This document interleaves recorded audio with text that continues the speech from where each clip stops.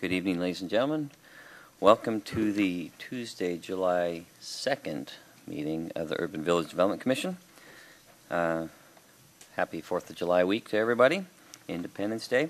Uh, we're going to go ahead and get started with the, uh, the meeting minutes from Tuesday, June 18th, uh, just a short couple of weeks ago. And uh, anybody have any comments or questions or edits? Did y'all get a chance to look at it? Yes. You did? Okay. I s- any comments? No? I saw in the staff report, a lot of our questions in here were- have been answered, so we can get into that detail later, but anything on the minutes? No, okay, I have a motion. I move to accept the minutes for the uh, June 18th meeting. I second. Moved and seconded, all in favor? All opposed? Okay, it's passed. Let's move on to uh, Swedish Development Agreement. Lucy? This There we your first go. time here? no, just was not going to do it. So um, I think you, most of you know that the we're looking at a development agreement next month for Swedish, and um, just as a little bit of introduction for some of our new members, um, Swedish Hospital owns about 17 acres, and they did a site development permit for the for the hospital and medical office building, maybe in 2010, and um, that's been a successful project for them. And um, Port Blakely is, uh, you know, closing out, trying to close out this year, is selling, trying to close sales on all of their property. And Swedish and uh, Port Blakely have been talking, and they've entered into a preliminary agreement. Um, so, however, the existing Issaquah Highlands Development Agreement expires in 2017, which may not be enough time for them to finish building out the land they're they're looking at purchasing, which is what we call jokingly the donut hole, the sort of big empty block north of the hospital. And um, so we've been talking about ways to extend um, the development agreement timeframe. And to do that, we're essentially doing a major modification to the development agreement, um, mostly uh, adopting chapters that you have uh, approved for Rowley or Lakeside in the last two years. So we're we're bringing it up to date. Um, many of the chapters, and I'll hand out a chart in just a minute that we can talk about. Um, many of those chapters are ones that you have, as I said, approved, and no changes are being made other than changing the names. And there are a few that are um, being written just for this, and you'll see those as well. Um, so the idea is tonight um, we'll I'll walk you through this chart. Um, since you haven't seen it, um, I don't plan on us talking about it tonight. We'll talk about it at our next um, UVDC meeting, so you have some time to think about it. And if you have questions, um, let me just hand that out.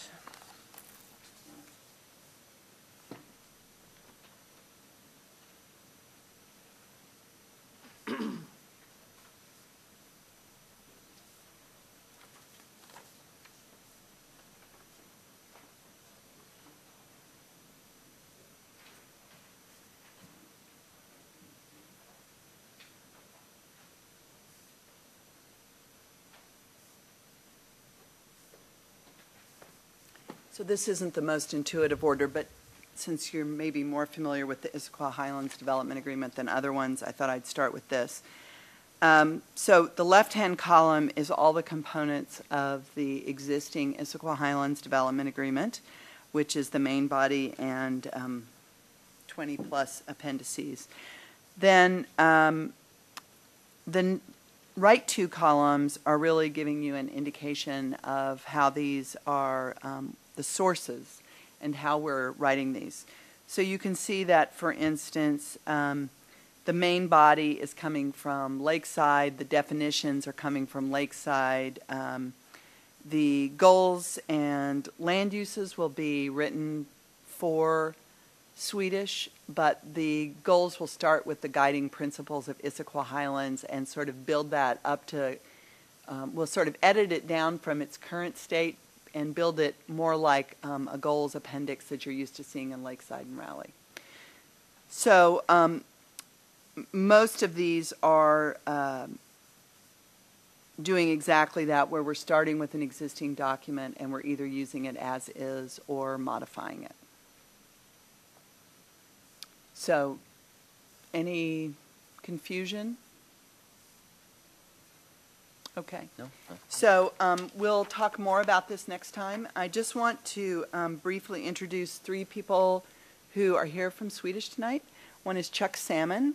Um, I'm not going to give their titles because I don't think I can do that. Uh, Alex Gross, and then their counsel, Mike Robinson. Good evening.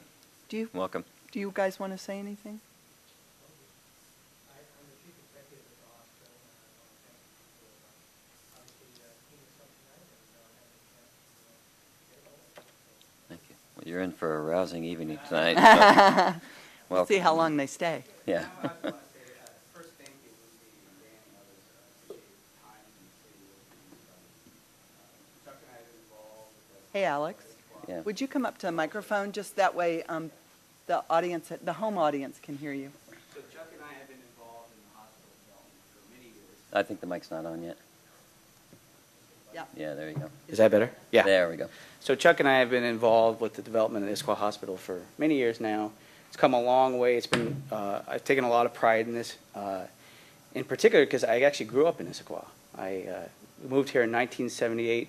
When I moved here, we didn't have a stoplight. So to see where we are today with uh, world-class healthcare services in our community is just, it's, it's great for us. And so now we're facing the, uh, I guess, a good problem in the fact that we've grown so much in the, the last two years we've been here that uh, we're running out of space. We, uh, we don't have the capacity to, to grow our medical staff and continue to build our Issaquah Hospital into a really robust community uh, hospital and asset to the asset to all of us. So uh, we'll be continuing work with the city, and uh, I appreciate everybody's time. And uh, that's it. Thank you very much. So Chuck, if you want to. I don't have anything to add. Uh, Alex is a speech giver, and he does a good job of that. So- Okay. But if you have any questions, we're happy to answer them. Thank you. And uh, I can, I mean, I can speak personally and probably for the commission. We had a great process go into the, the first part of that, and, and it's a real gem for this area, so thank you. Okay, so are we moving on now? Lucy, anything more on that? Okay. Appearance, appearance of fairness doctrine in quasi judicial proceedings. So this evening, uh, you are the decision maker. So um, I'd like to start by asking if anyone's have any, had any conversations outside of these chambers with someone about this permit? No? No. Uh, I had a conversation with Chantal this morning saying that tonight we're making a decision. It was as an elder uh, commissioner, I wanted to make sure she'd show up. And, and said that, you know, you can either vote it up or vote it down or say we need more time. So we had that conversation. That was it. It was process oriented. Right, and I think that's a good point, Nina. It was not about the content, it was about the process. Um, and then, does anyone um, have any conflict of interest or appearance of conflict of interest in terms of knowing someone or? I didn't think of this earlier, but uh, last week uh, I had a gentleman contact me. This is tangential, but I wanted to bring it up for your consideration. As editor and publisher of Connections News in Issaquah Highlands, uh, I was part of a conversation in which Polygon was looking for its advertising opportunities through a marketing agent, and it was the marketing agent who was looking for information from my office, which I provided, and I thought, oh, my goodness, I guess I might like to have Polygon advertise with me someday. That could be something people'd like to know. But I don't think that that provides a conflict of interest uh, in this deliberation. It's not motivated by it, and it's not leveraged by it either. And they've never been an advertiser for So you this, feel and I that really you have can no make hope. a, a fair and unbiased Yeah. decision? Indeed. Okay. Any objections? None? Okay. Okay. Thank you very much.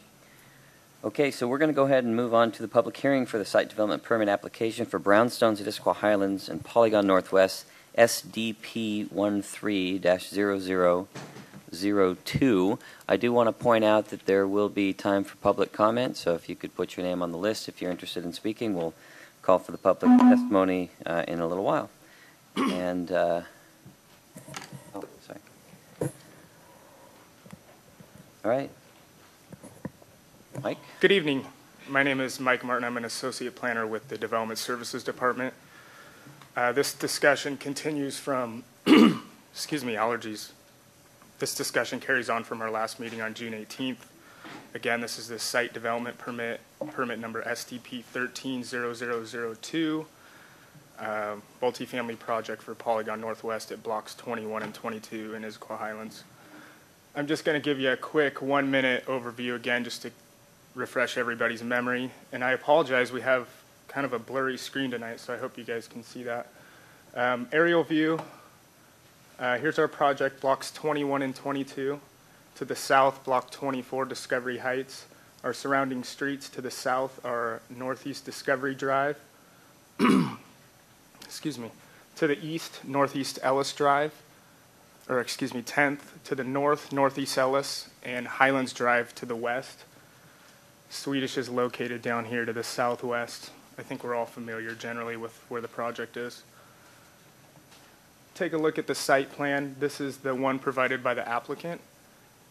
We have two blocks here, blocks 21 on the left-hand side and block 22 on the right-hand side, as well as tract QV, which is a pedestrian plaza, which I'll talk a little bit more about here in a little bit, but this one shows the roads. This, this project is served internally by alleys, and the connections to the front doors are served by pedestrian trails or by the sidewalk that is located on the outside of the street.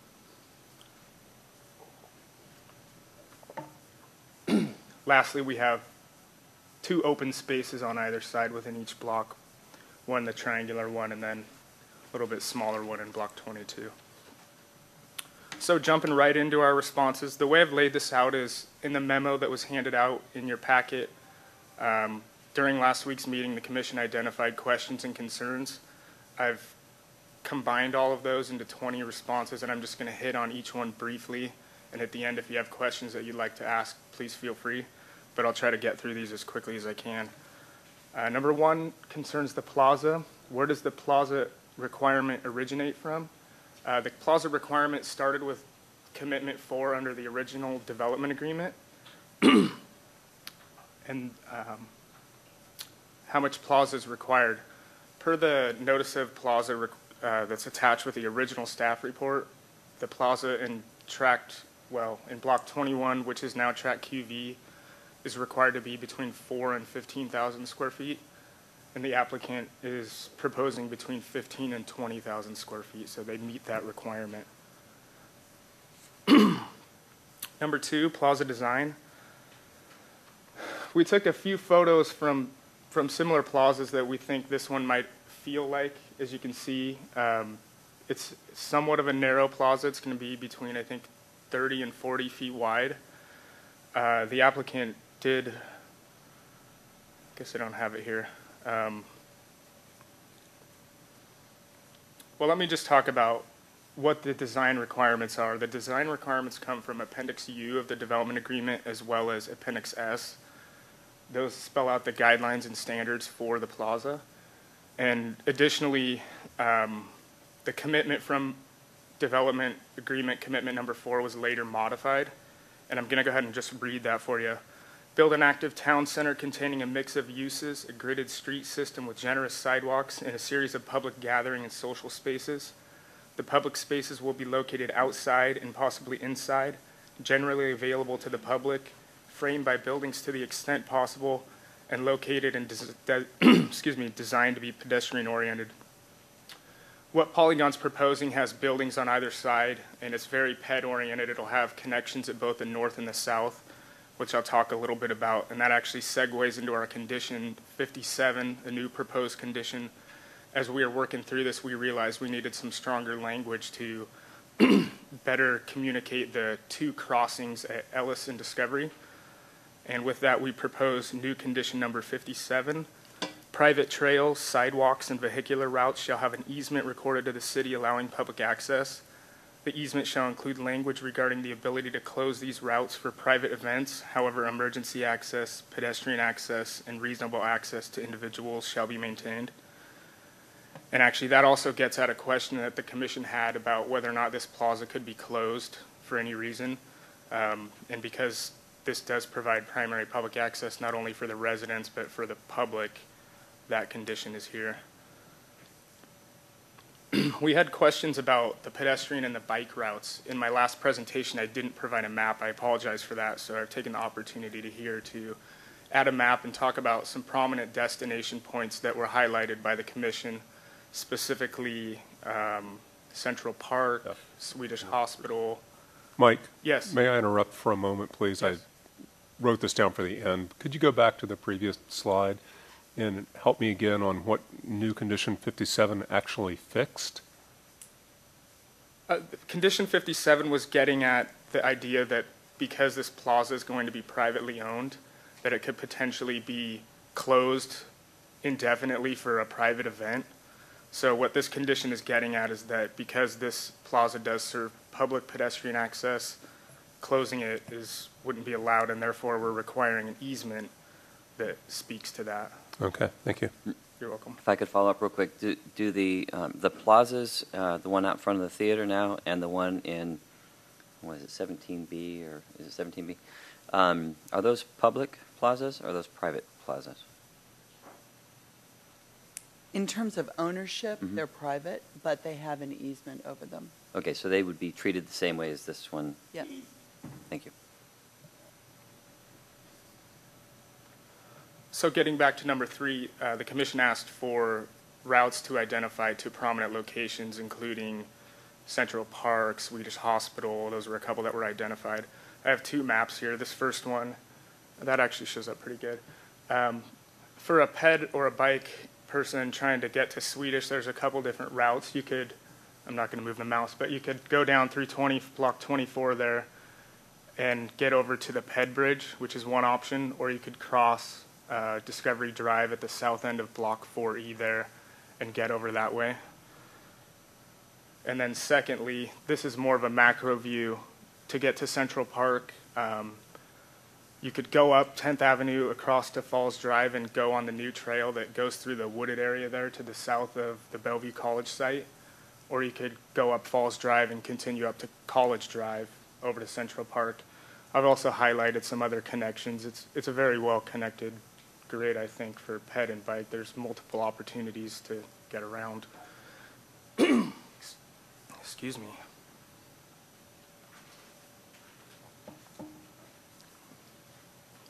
And this is actually what I was getting at with the last condition about the, the crossings at Ellis and Discovery, the north and south ends of the plaza, um, making sure that those get constructed correctly and with the intent. So we're proposing new condition number 58. Pedestrian crossings approximately in line with the north-south plaza will be provided across both Ellis and Discovery Drives. These crossings will be intuitive, efficient, and safe. Moving on to number four, and again, if you want to follow along in your memo packet, that's perfectly fine.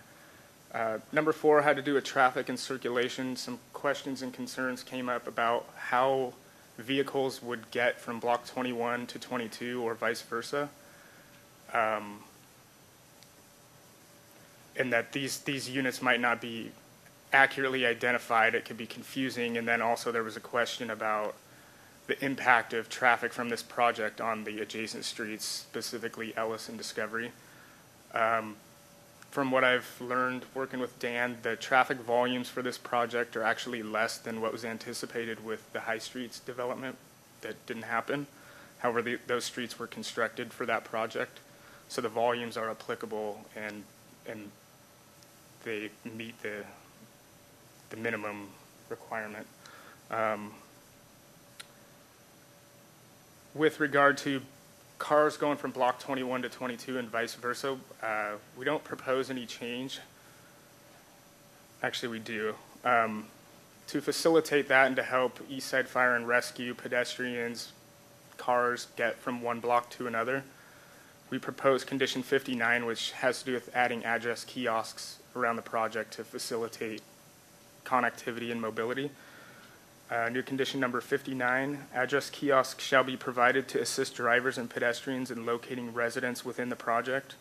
The applicant shall work with DSD and EFNR during the utility and building permit review to determine the location and quantity of address kiosks.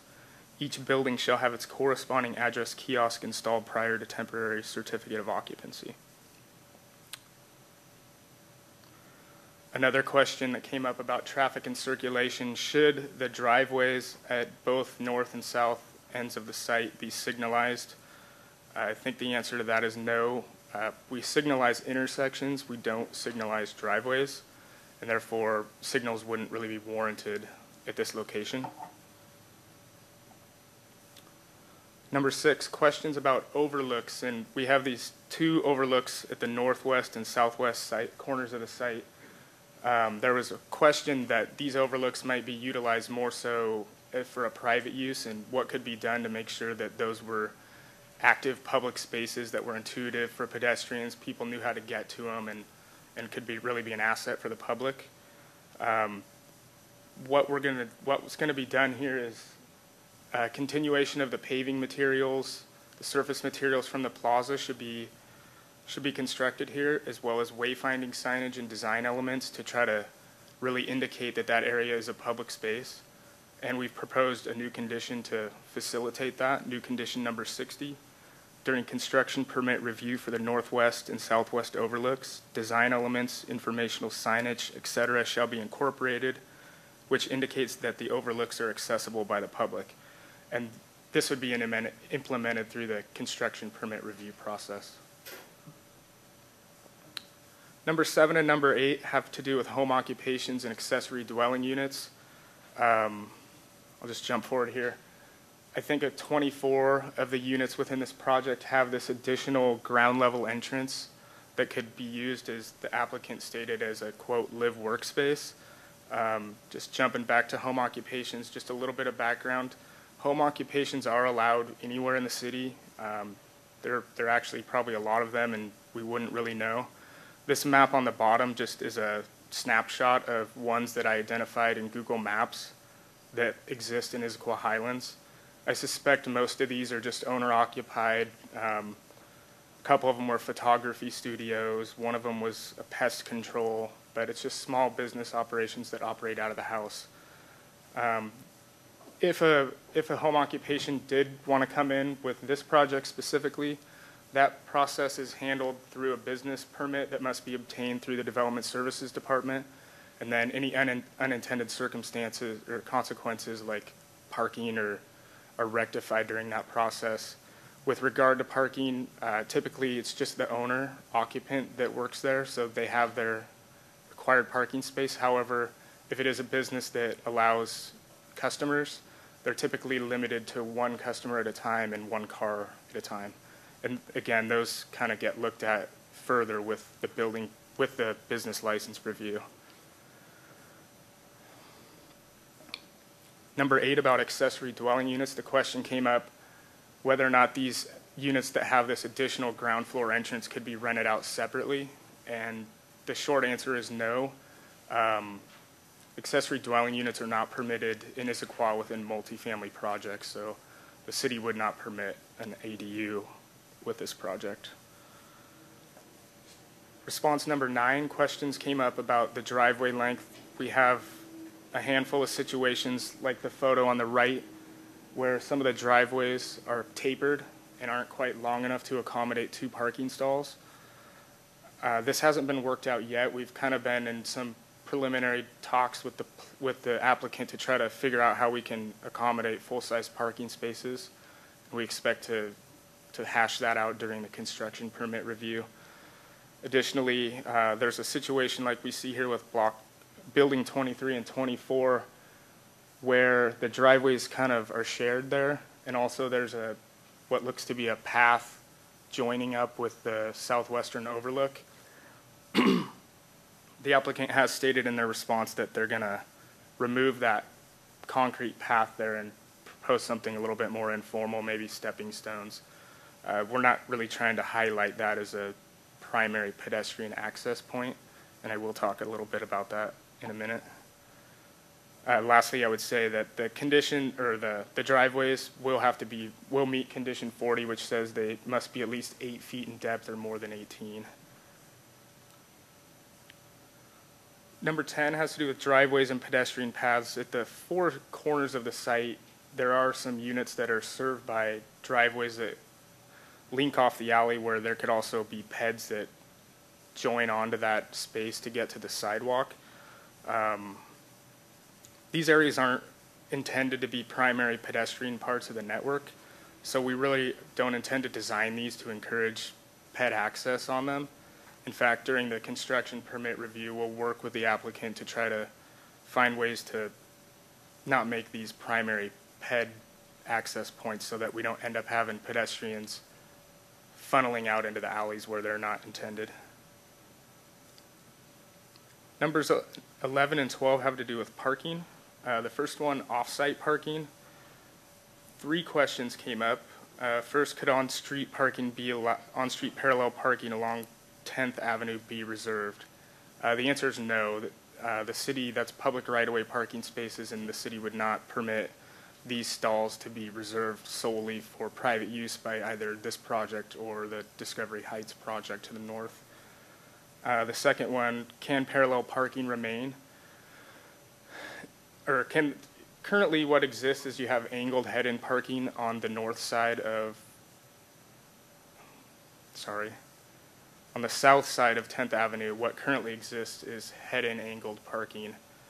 And um, let me just show you that since I'm not confusing you. Um, These, no, that's not going to show it.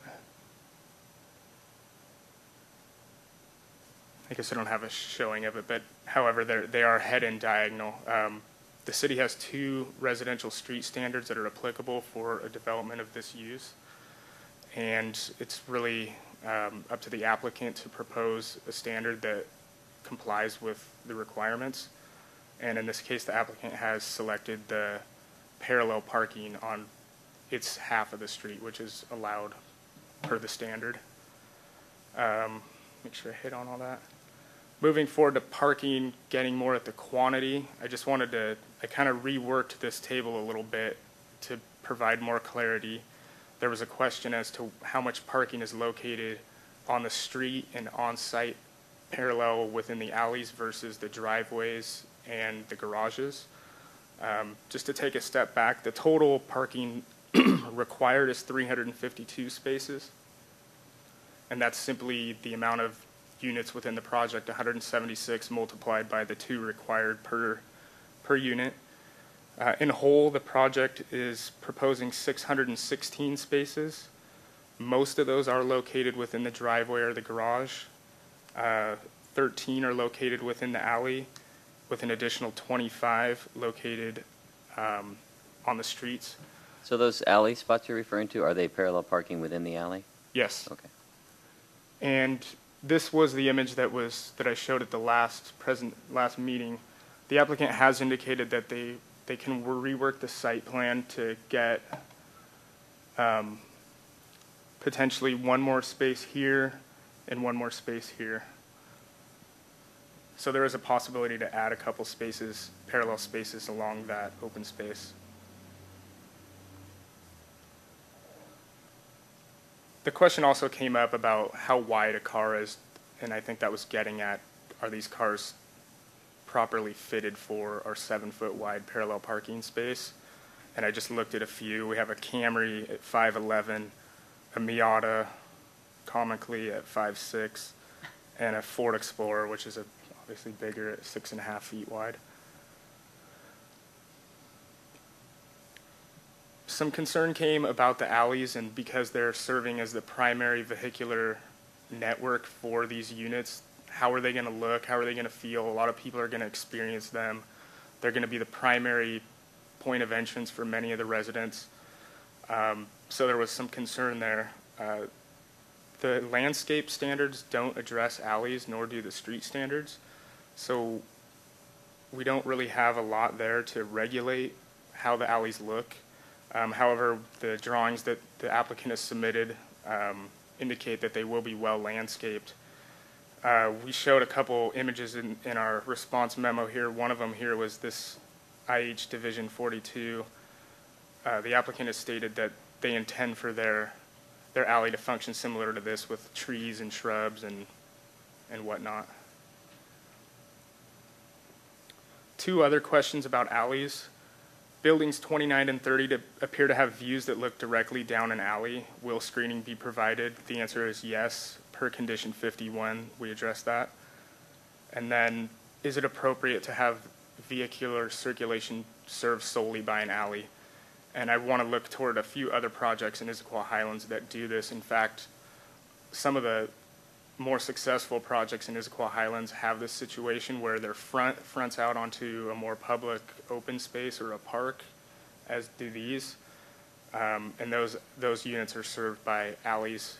And an example of that would be Division Three, Division 22, Division 95, and the Lakeside Apartments, which I think you all saw recently.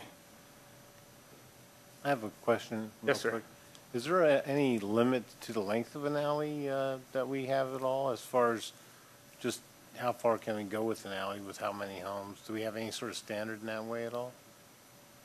I don't believe we have a, a limit on how long an alley can be, no. If it was a dead-end alley, um, or had only one way in, there would probably be an, a limit, a number limit. Um, I, there's, and the reason I say that, because what Mike said is absolutely correct, but for instance, there's a limit on the length of a cul-de-sac. So if you had a dead-end alley that, you know, just went down and didn't go anywhere, Right. I, I think we would apply the same standard um, that we do for dead-end streets, if that was, if they were, again, fronting on a open space like this, where you don't have a street in front. Um, And then the fire department requires, um, uh, has a limit on the number of homes that can be served with only one entrance. So That- once you That get- was, the- that was, okay, thank you. Yep. Thanks. Can I ask a quick question here, too? Uh, um, The Forest Ridge homes, the alleys do not have landscaping. Uh, Is there a reason, is, do they have too short of driveways or something? What is, um, you know, the alley that goes down through the spine of Forest Ridge is unlandscaped? I don't know. Uh, you know, uh, so Forest Ridge is a little different than this situation because it's the alley has single-family homes on both sides, and the city doesn't have a role in the landscape on single-family lots. That's all governed by the ARC. Um, so the only parts that we would see is where there was that sort of uh, trail that crossed through, and there's I know there's landscape with that, and I do, also don't know if it's been installed. Um, so I think you would have to ask the applicant or the ARC about what happened on the lots. Uh, What I was getting at, I think you answered, in that, um, how does this differ? How could we feel confidence that this would have landscaping when that one does not? Right, That's what I meant. Well, and beyond that, um, it might be well landscaped at the beginning, but who's responsible for maintenance? Is somebody going to police that? So if some homeowners don't want to, I actually have a slide addressing maintenance of, of the lots, so I'll get to that including the shortly. landscaping in the alley? Uh, yes. Okay. Wrapping up here, we've gotten through the meat of them. Um, number 14, the question was asked about pet waste pickup stations. Though these aren't required by the city, the applicant has agreed to provide them in both open spaces. Number 15 has to do with enhancement units. Enhancement units were the residential entitlement that is allotted to this project, and they came from the Park Point Transfer of Development Rights, which provided up to 500 additional residential entitlement units in Issaquah Highlands. Uh, As part of that, and that, that happened under the seventh development to the, seventh amendment to the development agreement. Part of that stated that the, the enhancement units needed to be of an urban scale. And there was a process with the city council that ultimately defined urban scale as buildings being at least 40 feet in height. But more so, they wanted that definition to get at urban density, and therefore they came up with a density minimum for these enhancement units of 20 dwelling units per acre. And this project comes in at 20.75 dwelling units per acre, satisfying the, the minimum density requirement. Number 16, loading zones. Just a quick question. Yeah. What, what's the purpose of an enhancement unit? I mean, I know you defined things a bit, but Yeah, is- is- what's the purpose of an enhancement unit? Is it So, just to meet it- it density? It's, um, it's a fancy name. Uh, so there was, as, as Mike said, there was an amendment to the development agreement. And as part of that amendment, uh, additional residential entitlement was granted by the city. And that residential entitlement, we just call that bucket of units, enhancement units. Okay, thanks.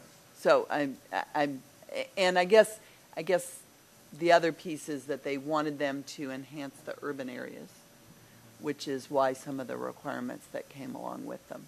They didn't want just more single-family homes. Gotcha. So when you're talking about 20 uh, per acre, is that buildable land or does that include open space, parks, plaza or anything, or is that just a buildable area? I think this is based on the gross. Yeah, this is the, the total area of the site, which is 8.48 acres, I believe, off the top of my head. And then when you divide that by the amount of units, 176, you get a density of 20.75. Moving on, uh, number 16, loading zones.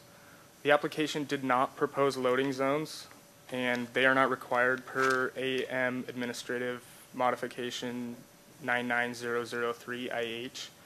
Uh, That AMM states that multifamily projects that have their own driveway for each residential unit and do not have a clubhouse or a manager's office or something of that nature are exempt from having to have loading facilities.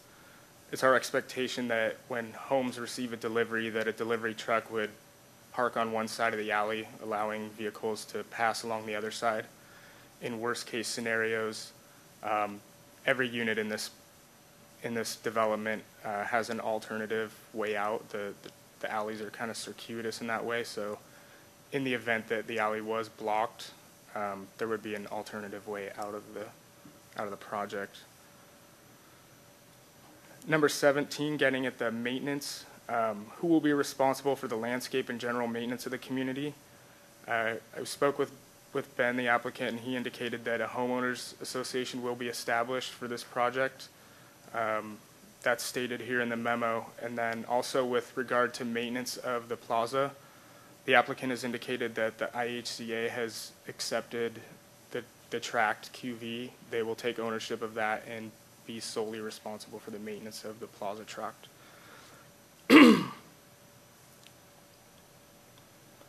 Number 18, mailbox kiosks.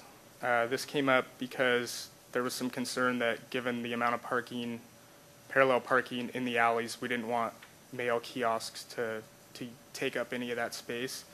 So this is something we do typically look at with all of our permit reviews, our construction permit and building permit reviews.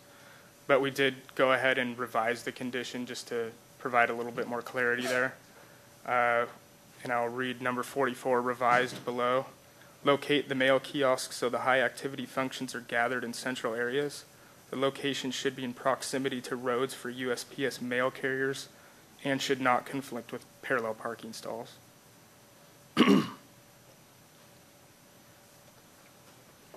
Two more, almost done. Number 19, lighting. Uh, A few questions. Will the Issaquah Highlands lighting standard be used, for street standard rather? Uh, Will the street lighting be pedestrian oriented? At this point in the application, we haven't received information about the lighting, and we've added the, the long condition down here, which I'm not going to read, but it does kind of hit on all those uh, elements that the lighting package needs to have. And the third, the third answer is the city uses a 15-foot standard max height for their light poles to try to achieve a pedestrian lighting scale.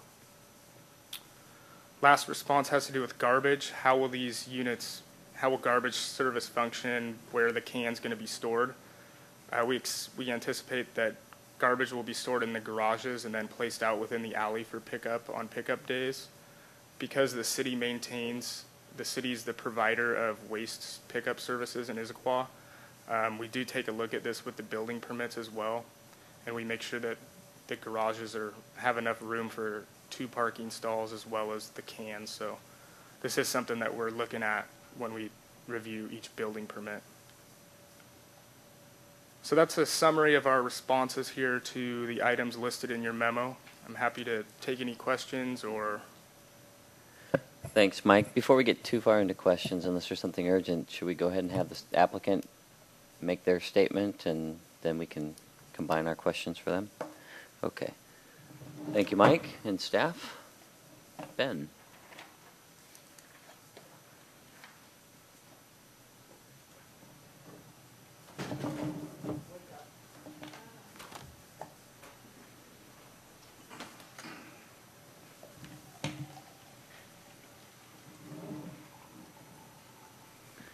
Hi, my name is Ben Rutkowski, Project Manager for Polygon. Nice to be in front of you guys again to uh, answer any questions and provide a little bit more information.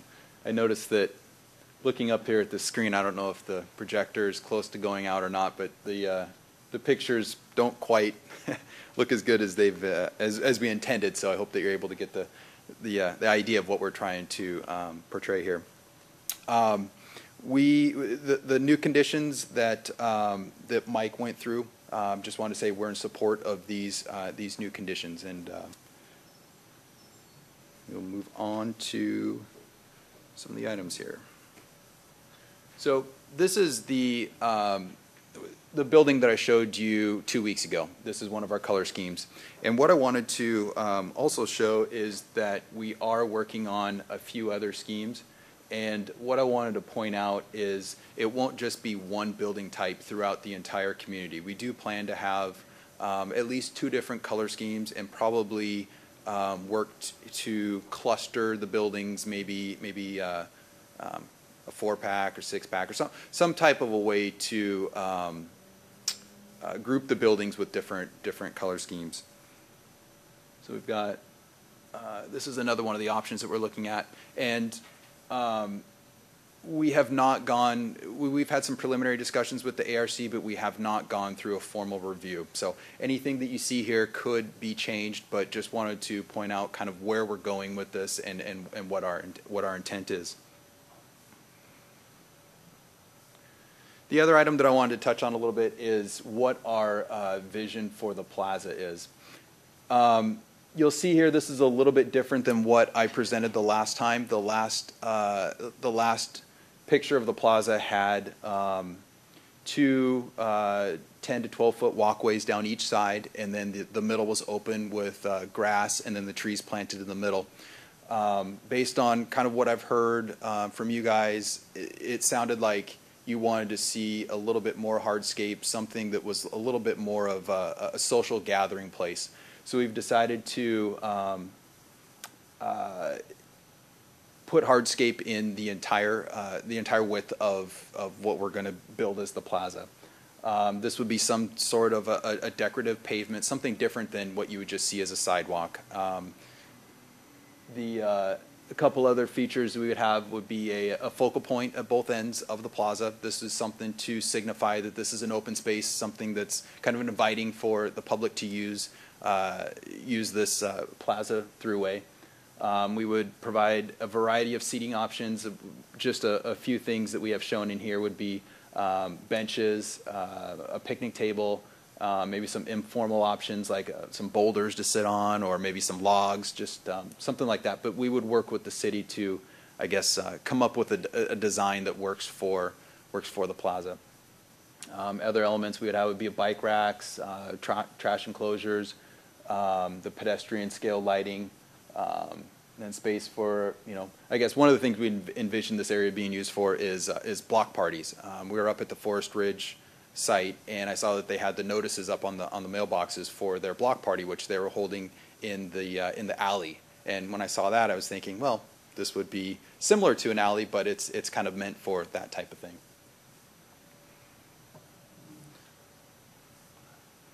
And then this is, uh, it, if it looks a little bit funny, it's because I took an image and I mirrored it back to back. But this kind of creates, it's an interesting tree with a hole in the middle. I don't know how you get that. But this kind of gives you the feel of what this, um, what this plaza might feel like. Um, the, the plaza that we're, proposing probably would have a little bit wider um, uh, pavement section in the middle, probably a little bit less of the, uh, the area in front of the buildings, But this just kind of gives you the feel, if you were standing down on the plaza, looking up the plaza, what you might see. You probably have a few more trees and, you know, it doesn't have the benches, but kind of gives you an idea of what you're looking at there.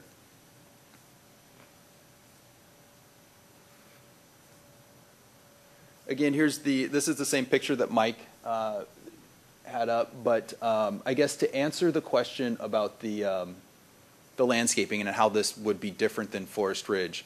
Um, at Forest Ridge, there was not very much space at all next to the driveways. The driveways were, uh, I think, I want to say three or four feet off the alley, and the houses were fairly close together. And on the side of the garages, we had, uh, there were gates. So really, there was, we needed to allow a way for the homeowners to get through the gate and into their yard area. So that's the reason why you don't see pretty much any landscaping back there. It's just we didn't have the room. On this project, we will have the room with the 18-foot long driveways. Um, I anticipate there being anywhere from four to six feet of space in between the driveways to allow for planting. So this is a good representation of what you would see um, out there on the site. Also, to answer the question of maintenance, um, Mike did mention that it would be maintained by the HOA, um, as would everything on the site. The, um, the HOA would maintain um, all of the private roadways, uh, the landscaping, anything that is, that is within the private property um, of the community, the HOA would maintain. Um, also, on the, on the topic of maintenance, the, um, the High Street Association did say that they would take the maintenance responsibilities of tract QV as well. Sorry, Ben, again, if you could just repeat that again, the, or let me ask it this way. So if, if this were the case here, something like this, where the driveway and the landscape next to the driveway, that would be the homeowner's responsibility, correct? No, that would be the HOA's responsibility. Everything, ne- Homeowner- even next to the driveway and everything? Absolutely, yep. The homeowner, since there aren't any lots, it, Yeah. there's, it, it's really just all open space. It's all common space. Okay. So everything on the site would be maintained by the HOA. Can, Okay. can I ask a quick question? Uh, What responsibility does the HOA have to maintain that? I think once, once they take control from the developer, uh, and then they make their own decisions uh, through voting, can they change landscaping or say do away with it because they don't want to pay for it or something like that? Uh, What, what kind of guidelines are there to, to maintain it by the HOA? I- I'll uh, answer that. That's why we have a site development permit and then a construction permit. So if they were going to propose, say, switching it to all river rock, um, they would have to get the city's approval, and. I would say that that was inconsistent with the permit and the thing, the basis. I mean, that's the value of your talking. So for instance, if Ben was hit by a truck tomorrow and someone, his, his replacement was a river rock fiend and did not like landscape. And because you guys have talked so much about landscape, it's really clear this is important to you. That would not be something that we could casually change. It doesn't mean we wouldn't have a discussion with them, but uh, it's clear that this is uh, one of the critical pieces in your review and decision on the permit. Thank you for that, thank you.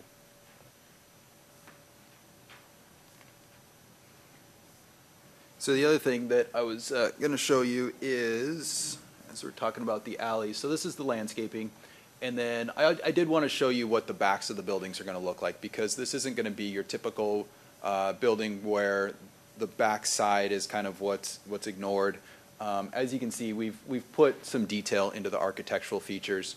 Um, we do have the, uh, the balconies coming off the back that are that are that actually hang out over the garage. So the garage is recessed a little bit, so the garage isn't the first thing that's that's sticking out from the building. Um, you can see we carried the same roof line that's on the front of the building. We carried that around to the back. Um, in the in the picture, the lower picture, you can see where we've taken the masonry and we've wrapped it around the building. And then in the first couple units on the end, uh, we- also carry that through to the back. So as you drive up to the back of the buildings, it's not going to feel like you're coming up to an alley that you've seen in other places. It'll be it'll be a different um, a little bit different situation. The other thing here is, even though you are driving through the alley, you're also driving past the open spaces. You're driving past the sides of buildings, which are also shown there. So it's not as if you, you- you're driving down this row of, of garages and that's all you feel. So it is a little bit different situation, and I did want to point that out.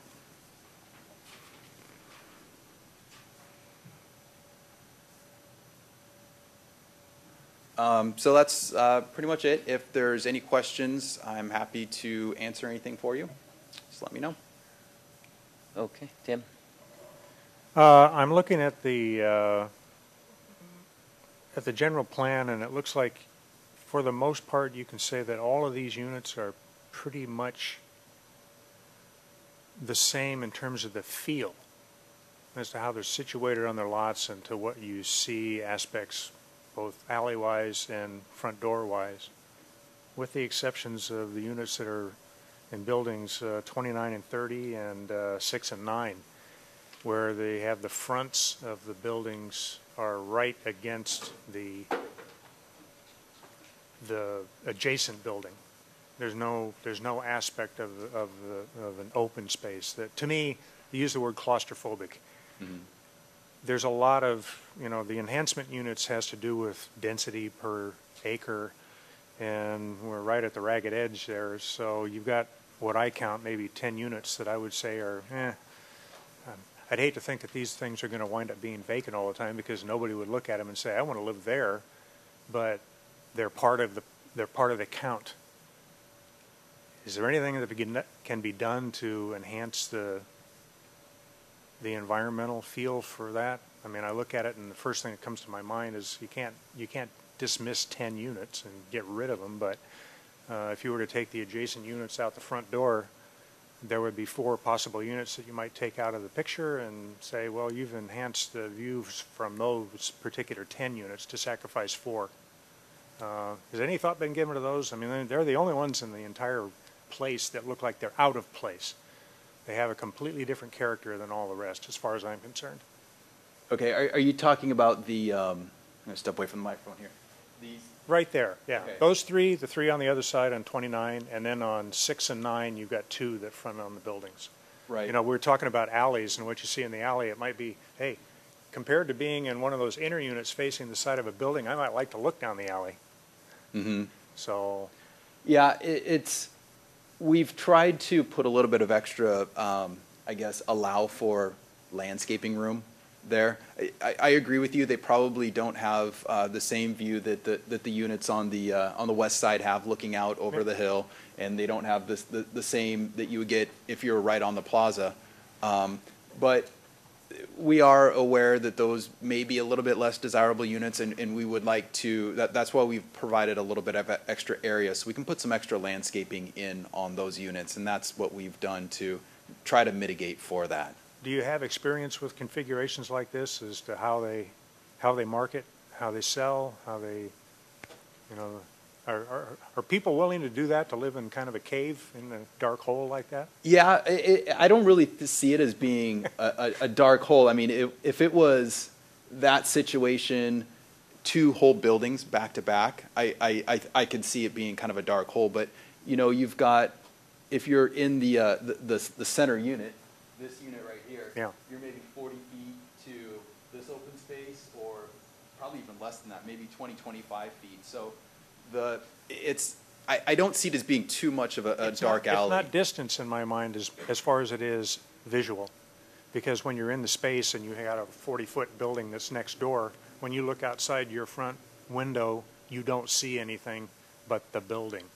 The, the other units, like I say, all the rest of the units that I see, they all have a nice aspect from even the ground floor, looking out onto the public spaces and the open spaces, So, except for those units. Tim, let me step in just for a minute. There are, for instance, the project that, and, and I, I probably find a picture, but not immediately. Um, the project uh, where we keep showing the alley that they said is typical of that um, has exactly this configuration. And we fretted over that a lot um, at the time that we were reviewing that project and put a lot of conditions on it in terms of space and, you know, how far apart the buildings had to be. And, um, and my impression is that those are not up for sale any more than other ones are and that they are um, as well received. Maybe there's an advantage in terms of price point, as um, Ben mentioned.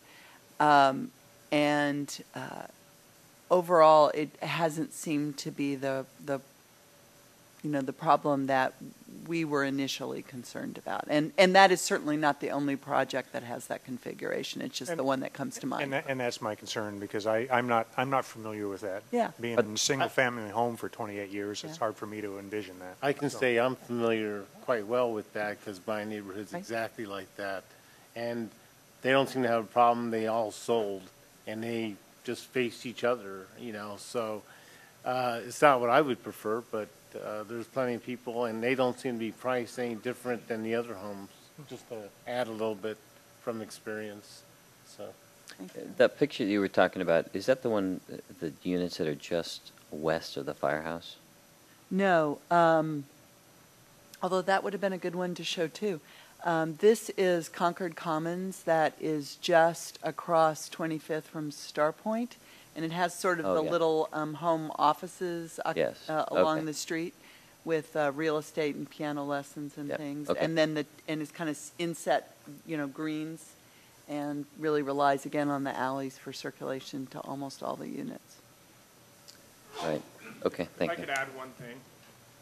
Additionally, we have a condition that doesn't specifically highlight the buildings you mentioned, but it does kind of get at this issue. Number 45, and I'll just go ahead and read it. All building facades shall be designed with detail and interest. Blank walls shall be avoided, especially at the pedestrian level. If necessary, articulation or other features will be provided. Appropriate articulation and features could include doors, windows, building articulation, and/or other architectural features to create an interesting and varied environment. And, and I think that's an excellent point, because when we're looking at the building permits, we're going to be looking at, especially in those kind of circumstances, when someone's looking right out on it so closely. And, and that's a further enhancement than what I've experienced because it's uh, older, you know, development, so it doesn't have the enhanced uh, agreements here, so. And I did want to put this picture back up, just so you can kind of get a visualization of, if you're in that unit, this is what you would be seeing. It's not going to be a blank wall, which, which does happen in a lot of places. So it, it, would be a little bit, you know, I guess to help mitigate for it, at least it'll be a little bit nicer looking than just a, just a, a a blank wall there. Okay, uh, so, Commission, we, we still have testimony from the public. Do we have any questions or comments before we get to that? I just have one question. Okay. Uh, It doesn't appear to, did we get a resolution to those uh, driveways that are cut off?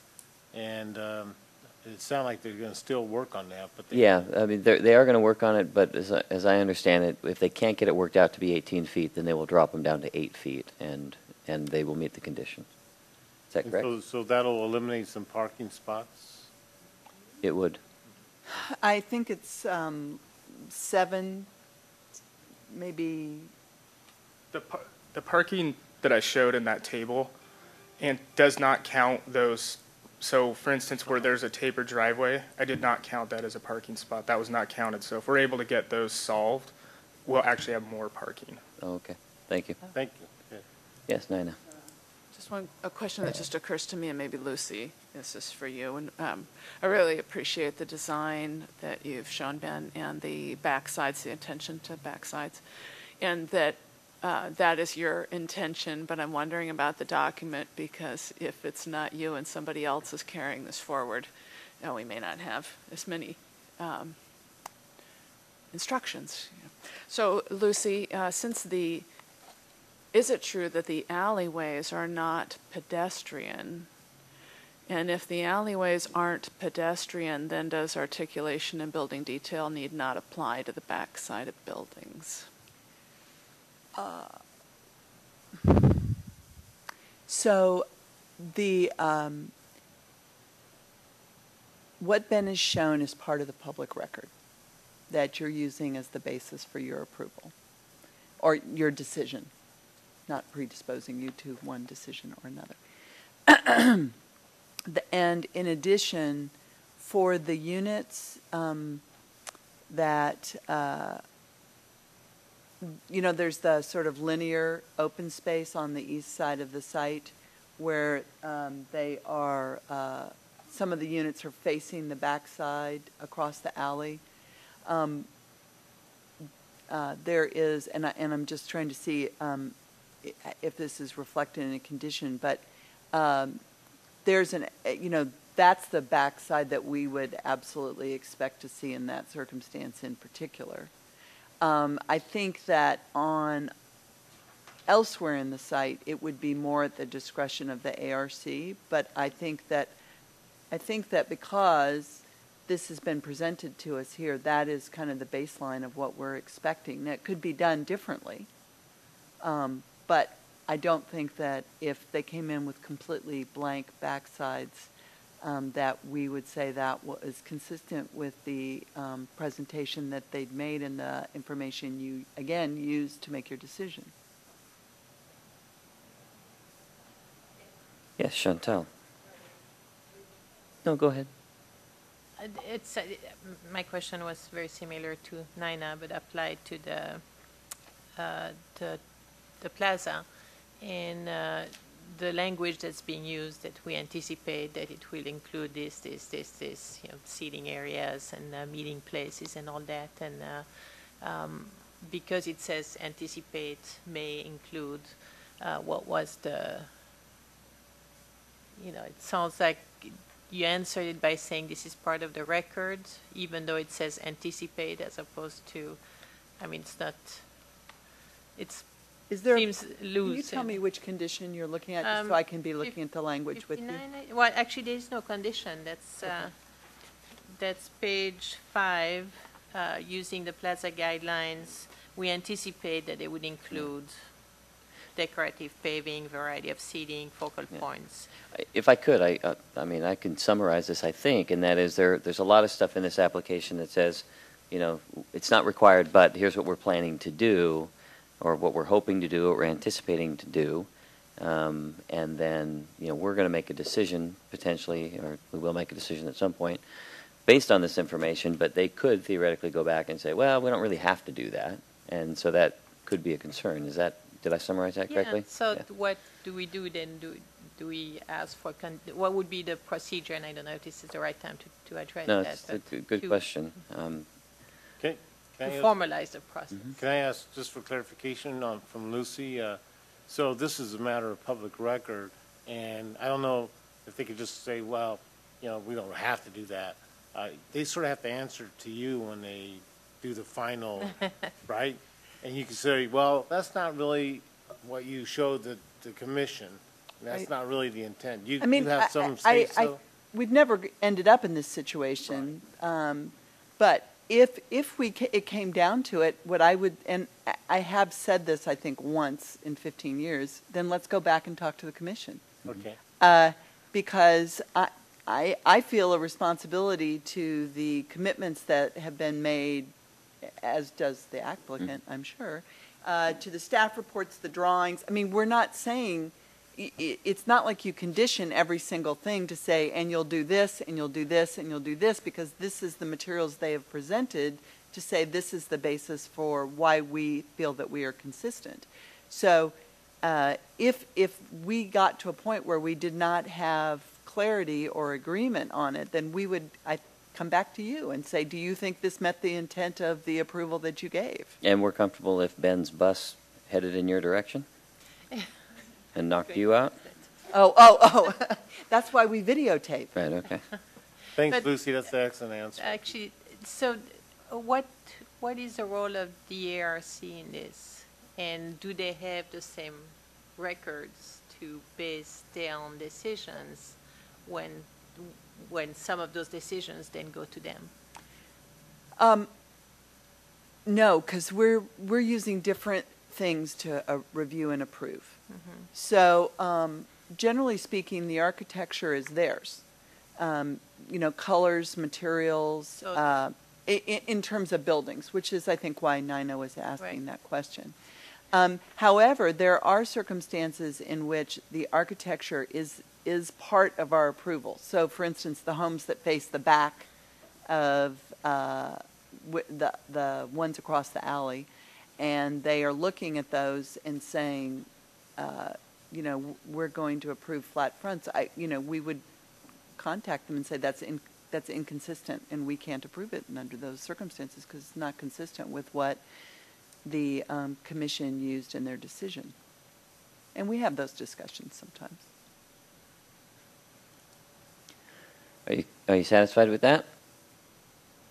I, I think so, but I still would like to see at some point a little bit more definition, certainly for the, the plaza. Uh, But that, I think, will come for the discussions after. Yes, we'll have some discussion, yes. Okay. Any other comments before I open the floor to the public? Okay, thank you, Ben. Thank you, staff. At this time, I'd like to open up the public uh, comment portion of the meeting or testimony, depending on which part of the agenda you're looking at. So if you'd like to speak, come on up. Looks like we have our first participant. My name is Connie Marsh. I have a store at 1175 Northwest Gilman Boulevard, Suite B11, and I also live in town. And I spent my day trying to get copies of the videos from 2005 and on, and guess what? I can't. I got one. You look, you had so much more hair. This was 2005. it was just, it's like, It wasn't me, it was somebody it else. was you. You talked. Flo Schaefer was there. Remember Flo? Yeah, it was great. So anyway, but in the middle, just when Judd was getting up to fume over the bridge, because I was trying to get the east, the preliminary plat for East 42, mm-hmm. the sound went off. I saw him turn purple, sort of in a fuzzy way, which was good, like the, the old times, right? But um, all three of the videos that I was sent were of the same meeting, and uh, that I and then the sound went out. So by that time, Candy was gone, and I had all of the paperwork from around it, but I didn't have that one. And uh, I probably spent two hours at City Hall today digging around trying to find information, and I got very little. So I was frustrated. So when you say there is a public record, there isn't really. They, we, we got a new website, and they dumped all of the history, and so the only way to get the history is to actively call the city and ask for the files, and then you could go, you might be able to get a link, but then you're lucky if the links work. So, uh, I don't know how to solve that particular problem because it wasn't a good paperwork day for me. I did learn all kinds of good things, and I did happen to have High Street. And I did get tidbits here and there. I probably read five different things that talked about plazas. And what I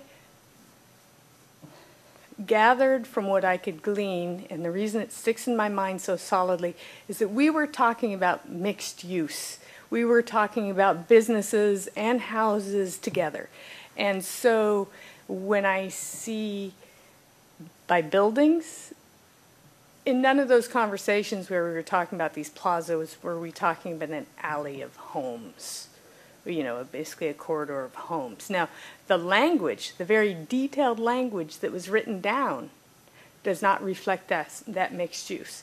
And that is what they're using. They're using this very this what is precisely on the piece of paper and so it- um, I disagree, but it says they have total control, and if they agree, then it's all good. And I doubt I'm going to be able to argue too much about it. But in High Street, it was very interesting to see how they splintered out their public areas, and with great detail, they talked about what it was going to contribute to this mosaic of plazas in the sociable public realm. And the conditions at this point in time were tighter. There's pages of, of ideas and thoughts of how the individual areas would look. And now we've reduced that to one line of, well, it would be nice if they did this or this or this. But it doesn't say they must. And um, I guess I didn't realize how much it had changed until I went back and read things from 2003 to now all in one day. And uh, it's the burden has gotten way more on the staff's review. So um, when I look at the plaza, still, it feels like a private community plaza where the neighborhood is going to be using it rather than all of the Highlands and the shoppers being welcomed into it. And I still very much disagree that that was the point of this series of plazas. And I could read endlessly out loud from high streets, but because you all are going to have this piece of paperwork in your closets too, uh, read it and think about it. And then we're going to go to landscaping because, frankly, I'm tired of kinnikinnick in a tree. And that's what's turned into landscaping and a lot of the things that are going in the highlands. And uh, I'm watching them plant dead summer, 90 degrees. They're planting trees in the in the shopping center, and it's just flipping me out because that's not good. But it also brought the idea that when you're looking over Highlands Drive, it's hot, very exposed, and I think we need to be uh, careful in having a balance of shade to sun. And also, there's nothing about weather protection. And if there are plazas, it seems like we should have weather protection because nine months out of a year it's raining and don't even have a hut. Seems like there should be something um, in that situation. So I don't know who says what the landscaping should be and how varied it should be, but I would like to see in all of the things that go through that the landscape palette be described in some way that is more lively than kinnikinnick and trees. Okay. Thank you, Ms. Marsh. Mr. Kapler.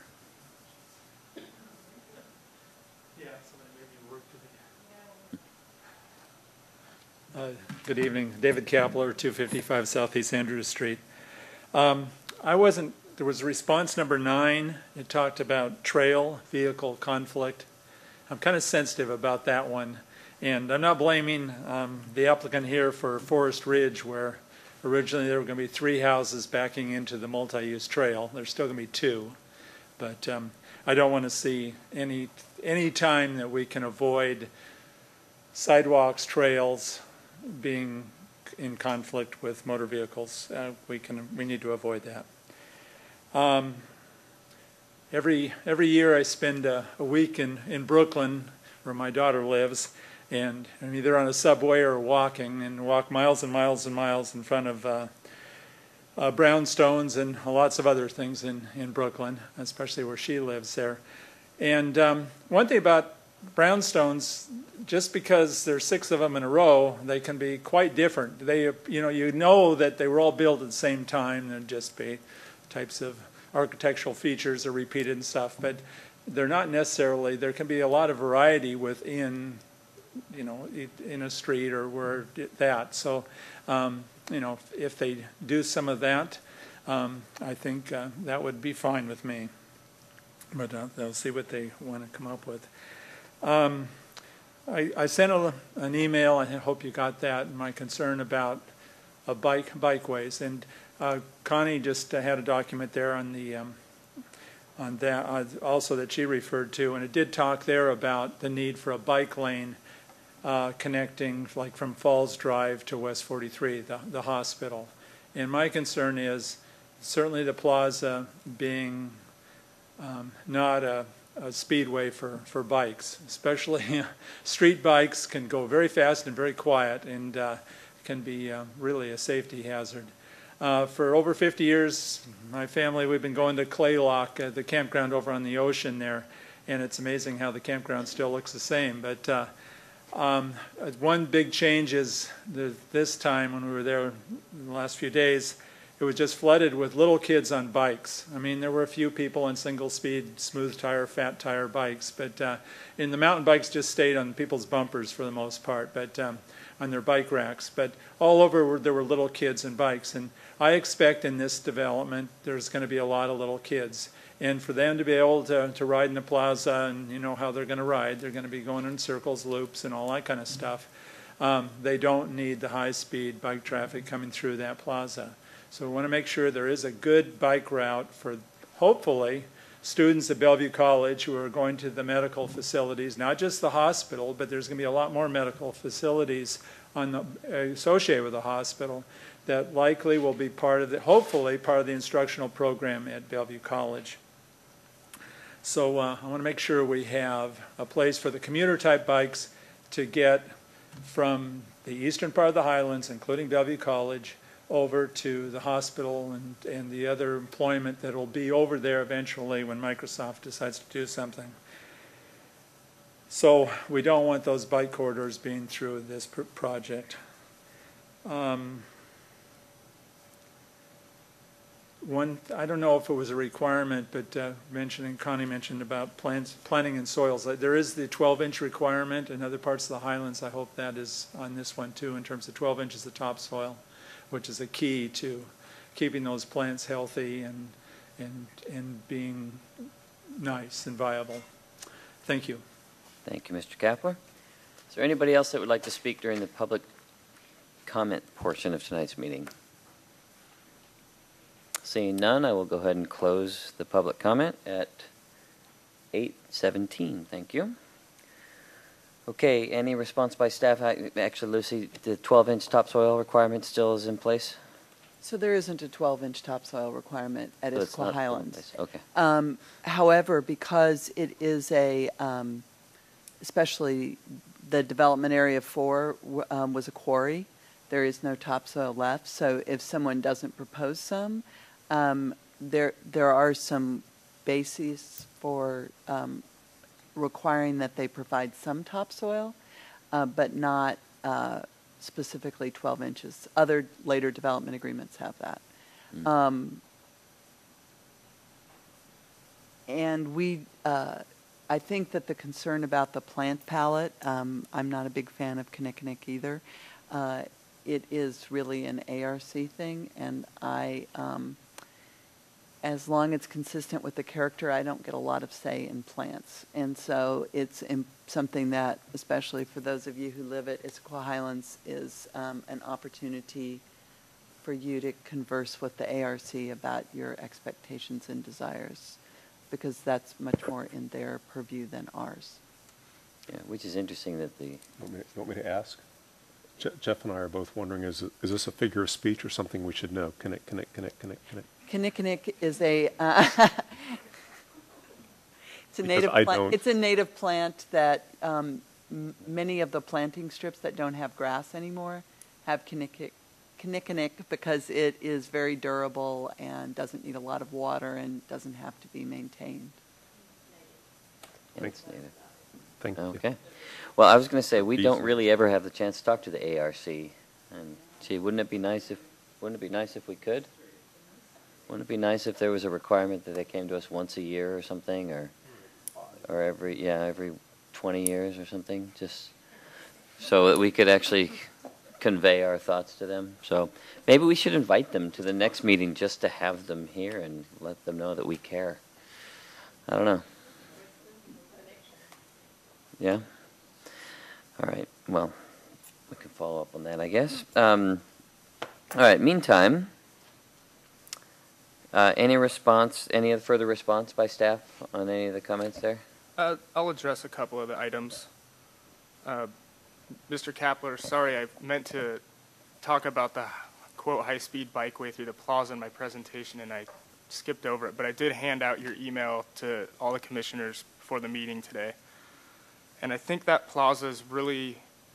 You had mentioned bicyclists coming down from Bellevue College, potentially maybe making their way to Swedish, which would be the kind of the route that would possibly include bikes going through the plaza.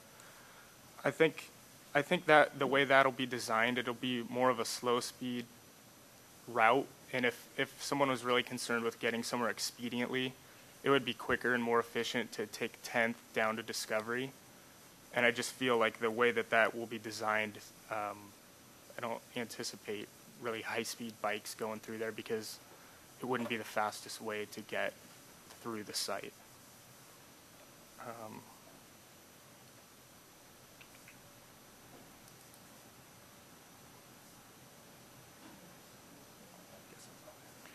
Um, To, uh, while, while, um, I, I wanted to just uh, provide uh, hopefully some level of comfort to the commissioners about two of the items that you asked about. Um, Condition 44 requires that the garages across from um, buildings um, six and nine, that that backside have architectural treatment, recessed garages, elements overhanging, treatment of garage doors, trellises, you know, so a lot of the things that you saw in that image are captured in condition 44. Um, and then um, condition 53 uh, identifies that uh, the plaza has to have, you know, seating areas, varied materials, street furniture, bike racks, public art, landscape. So it, there was a list of the things that are expected in the plaza. What? That's a condition? Yes, uh, number 53.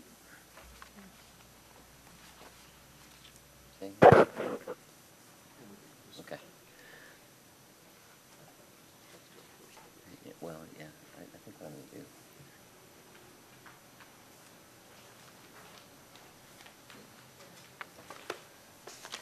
you get that, Chantel? Okay. Okay, anything else from staff at this point? Not at this point. All right, let's go ahead and get into commission discussion. Mr. Lee has a point to make first. Um, I I think you have to give the applicant a chance to Oh, I'm respond sorry. to if they want. Yep, you're right, They have I any do. further responses Do you to have further public responses, Ben? comment?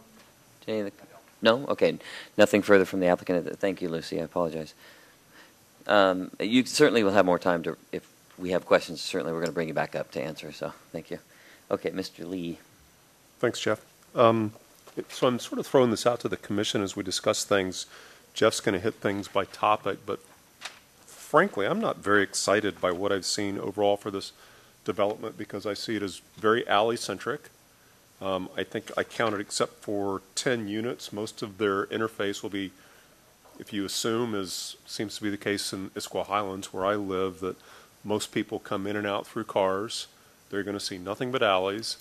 And there are several conditions where alleys seem to almost give a release from certain conditions or whatnot. I would note, well, we're not going to, we don't have to put signals in because it's a driveway. We don't have to have the same type of landscaping standards because it's alleys. We don't have to have the same type of lighting standards because it's alleys. Architecture. Architectural, visual. It's very alley-centric, and that's how a lot of people are going to see. And there's only a few units that are going to get to see the, the front of other units.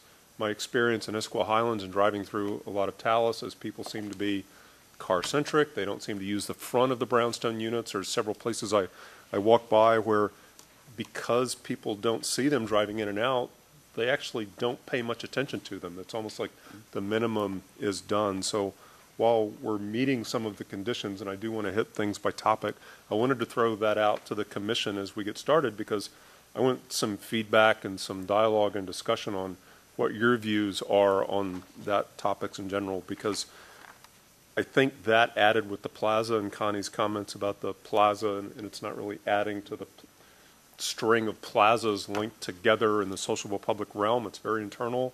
I see it as being sort of not extraordinarily well used because of the way a lot of people are. So that's why I wanted to get in front of the specific topic discussion, Jeff. Thank you. Thank you, Carl. So, um, so I, I would like to talk in topics rather than going down the line and everybody sort of putting out their two cents, but we can all jump in on the topic discussions. I will say in response to that, uh, I generally agree with you. I think, I think most people will come in and out when they're going to and from work or to and from school or whatever it is that they're doing.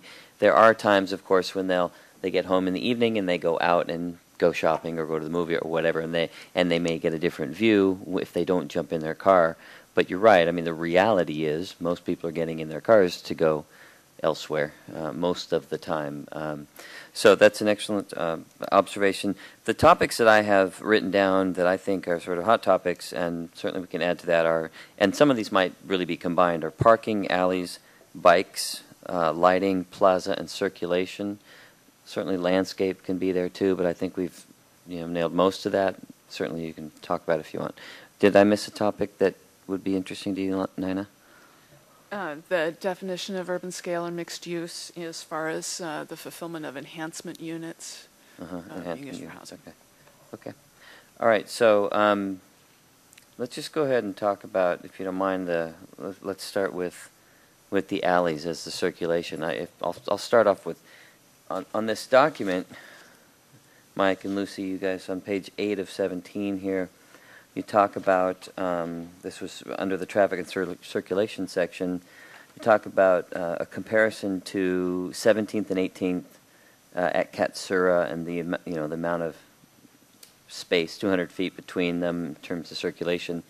Immediately, what jumped out at me was these are streets; they're not they're not alleys, and so I don't even look at this as a, as a comparison. So I'm not quite sure what the comparison is there. So the, there were two topics there. One had to do with um, alleys, and that this was not meant to speak to that. Okay. The piece that this was talking about was a concern that there needed to be additional connection between the uh, Block 21 alleys and the Block 22 alleys. And so this was really just saying that the distance between them and the length of it was similar to other blocks in terms of circulation. Right. I, I, I understood that part, but I don't see the pun intended connection between the 17th and 18th and the alleys because we're talking about internal circulation through alleys versus streets. So another reference point was uh, the apartments, uh, that everything within that, within the units, uh, everything is sort of back alley kind of stuff. And you can get, you know what I'm talking about, off of Park Drive? There was a, a comparison of, you know, all of these homes being serviced by alleys or, be, you know, these non-public streets. The difference there is everything is reachable within the internal network, and here, not everything is reachable within the internal network. You have But to go that's an eight-acre project, and this is an eight-acre project that is, has two separate circulation. Right, and it's all serviced by alleys. I guess I just have an issue with the alleys. My- So, Eric? so, so the, that's the purpose of my question earlier about just how far or how long can an alley be? Because, you know, to me, both an alley and a winter, you know, they, they should be, you know, used conservatively and, and for short distances or something to that effect, and not as a major kind of transit uh, aspect. Uh, that's, that was what I was getting at as far as how long can we, you know, because we could just have an endless alley, you know, and, and, and then I think we've got clarity where, you know, there's obviously a purpose for an alley in the winter, and you start to lose like lan uh, lights and things like this.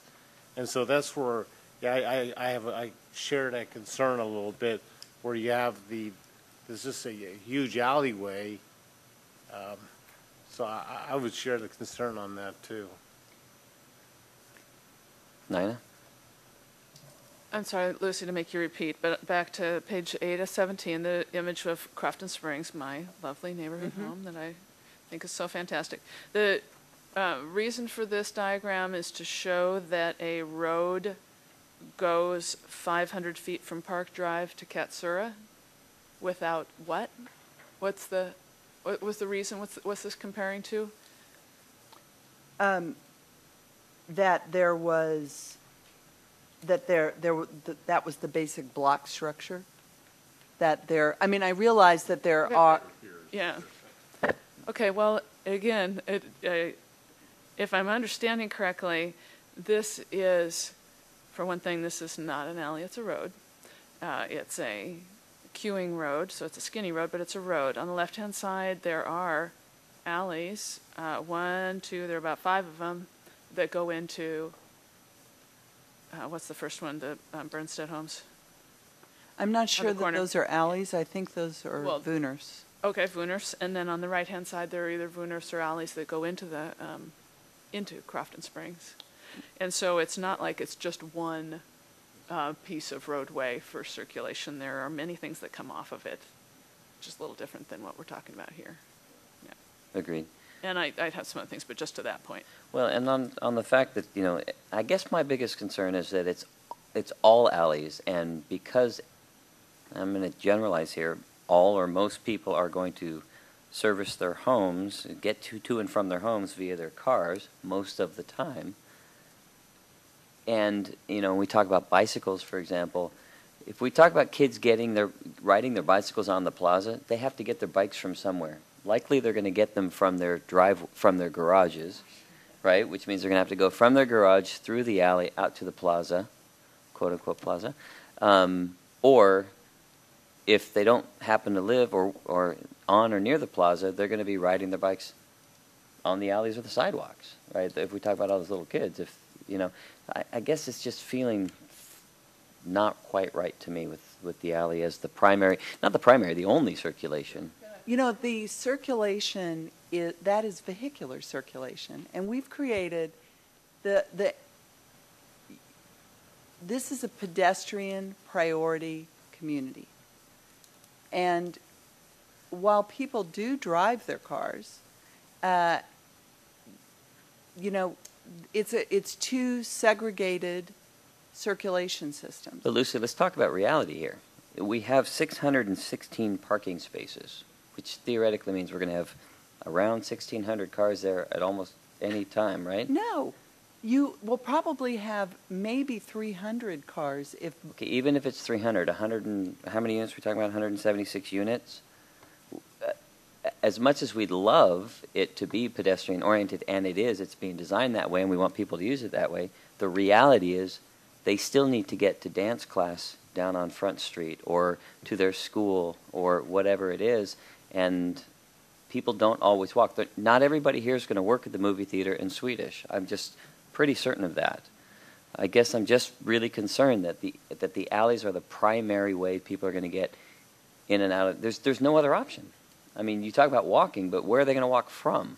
they're going to walk to the grocery store, they're going to walk to the movie theater, they're going to walk to um, a shop and have coffee, or they're right, but going. if, if I work at Microsoft or I work at Amazon or I work at, you know, wherever, it's, I don't know. I'm not gonna, I'm not going to argue it. I just think reality doesn't support this. The, I like the idea of it. It just we don't have, you know, like David said, we don't have subways. We don't have, we don't have the pedestrian support network through transit like other cities do. this is the most transit-oriented area. The YWCA survives with one car's parking space per unit and has no overflow from that. Different clientele. I, I, I completely Different agree. time- I, I, completely agree with that. Yeah. But you, you've got three to four parking stalls for each of these Okay, units. Let's talk So- about, let's talk about the, the units that are uh, east of YWCA, the Mm-hmm. condo units. I know many people that live in there. Mhm. Most of them that I know, in fact, all that I know, and I would say most that I've seen, do not walk over to the parking right and go off to work. Some do, but most of them have to take their children to daycare or school. They have to go to their jobs somewhere. They have to now. Granted, they have to shop somewhere, and now then maybe they can shop at Safeway. But if they've got 12 bags of groceries and kids in car seats, they're not walking down there to do that. They still may take their car and, and, and do that. I guess I'm just saying that I love the idea of it. I just don't think it's fully supported outside of the realm of this. How many acres? Eight acres that we're talking about. So this is one of many projects. So it's the person that buys here, just like the zHome. Z Home had one parking stall per unit, all alley served. Um, you know, th- they're not every not everyone would choose to live in that circumstances, but they understood what they were buying into. And and second of all, there are maybe four or five other projects um, that I can think of. For instance, the Crofton Spring, not where um, you live, Nina, but the one over by the Village Green has no alleys, no internal vehicular circulation at all. It's completely served from the outside, and people walk in. I mean, I guess that there are other, there are a variety of choices that um, are provided for different preferences. Right, but they walk in, correct me if I'm wrong, they walk in after parking their car on the street, right? So they're still driving to their home. Right. I, I, but I, I don't understand why that, they are, but they are not parking on the street. Most of the parking is off the alley for that project. Um, and the Lakeside permit that you reviewed recently was almost all alley served. Division 95 was all alley and/or Woonerf served with almost all the circulation on the interior. Um, so I, I mean, there are other projects that I can identify that are set up that way. We don't design all of the projects that way. At this scale, though, Were- are there any of them at this scale? Um, I think Lakeside was bigger than this. Which lakeside are we referring to? The uh, Polygon project that was reviewed just before this permit, I think that one was 10 acres, 12, 13 acres? It's totally different, yeah. Yeah. This, uh, let's, let's add, uh, I want to come back to Carl's just to add to the discussion that it's not just about um, cars driving on the roads, but what, defining them as alleys, the other situations that it brings. And we can continue to this discussion, but I thought Carl's point to the, the fact that it's alleys, uh, some have identified, Stephanie brought it up at the last meeting, how calling them driveways then presents a situation on Ellis and Discovery where, where we have identified what we think might be inadequate uh, infrastructure to serve 176 homes in here. When we talk about um, the comparison, it's great that the comparison to Crofton Springs is good and it's bad. Um, the good thing is that, you know, this is about the same amount of homes. There are a little over 100 homes in Crofton Springs, and then across the street in the terraces, and then the townhouse community whose name is escaping me. Um, if you put those things together, it's about like this. But we have streets. Now, there, for some reason, streets was the right answer. Now, because we have streets is perhaps why we have left turn lanes off a park to get into them. These are driveways, so they're not getting that kind of attention that 17th and 18th get. So is it, is it a left turn lane that you're concerned? No, don't try to, I don't want to minimize it to one thing. We're, the, um, uh, especially on the north side where there is a major road coming onto Ellis with two driveways coming out of this community, we feel that there, I think, I'm not, I'll say it's just me, uh, that there is a traffic situation there that's not being adequately addressed, and perhaps it's because these are alleys rather than streets. Even if they were streets, they would not be signalized. They wouldn't meet I the don't mean that they might, uh, not signalized as one end of the spectrum of addressing uh, a uh, traffic um, warrant, but even stop signs or some other kind of management doesn't need to be signalized, just saying. Crosswalks. Crosswalks, yeah, well, there's that. There is going to be pedestrian, there is such a condition for that. Anyway, it's not just the size of the roads or where the kids play. There are a lot of things that seem to be coming off this issue of these being alleys, and if there was another approach, then perhaps many things would be. Yeah, I mean, one of the other things I'm concerned about is, you know, I, I want it landscaped. I want to see it landscaped so it looks pretty because I think most people will be going through there. But I worry about that too because it's people, there will be lots of pedestrian traffic back in those alleys because people are getting in and out of their cars. It's a primary way to get in and out of their house. And if kids are, you know, pulling their bikes out and riding, they're probably riding in the back and not running all the way around to the front. You know what I mean? And and so visibility is a concern for me. So I don't know how to balance that exactly, but it is a concern. And I, um, the, to Carl's point, the people, and to yours too, people do use the alleys for playgrounds, and I think it's great. I see the kids outside my window here, and they have so much fun out there. But then if you talk to somebody from Dahlia Park, they're saying, "What are these kids doing playing in the alley?" I'm, I, it puts me at risk of hurting them when they shouldn't be playing in the alley. So it's can of worms, I guess, for some people. So I want to make sure I understand the commission's concerns. So it's, are you saying that you think that this, I'm not sure what you're asking for. I mean, I hear, I hear concerns and I'm trying to figure out which ones are ones that we have a basis for making a change. So, um, if the concern is, is there going to be landscape in the alleys? I think we can address that. If the concern is, um, making sure, I mean, you know, you could even frame it that um, people backing out of driveways and garages and sight lines to cars ad- addresses many of the same concerns that you would have if you had pedestrians in the alleys. And there's a fairly standard condition that we use for Woonerfs um, that we could use in this circumstance. If the issue is lighting, um, we can talk about what that condition is to make sure that there is sufficient light in the alleys relative to vehicular circulation. Um, if if the concern is that um, this these should be streets, I'm not sure that we have a basis for changing the whole plan from alleys to streets because the there are two separate circulation systems. That may not be your preference, but I don't know that we have a basis for saying that those two, that, that you must have your pedestrian circulation with a street and not two segregated, uh, a vehicular circulation and a pedestrian circulation. So I'm, I'm not saying I'm trying to answer all your questions. I'm trying to make sure I understand your concerns so that I can identify where we have a basis for poten- potentially changing or added conditions and where we don't.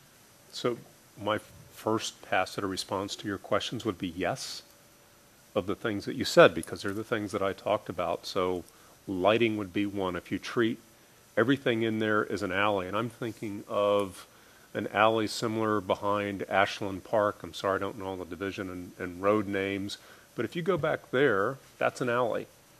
And if that were the face of, an, of a development, that is not what Issaquah Highlands has been designed for.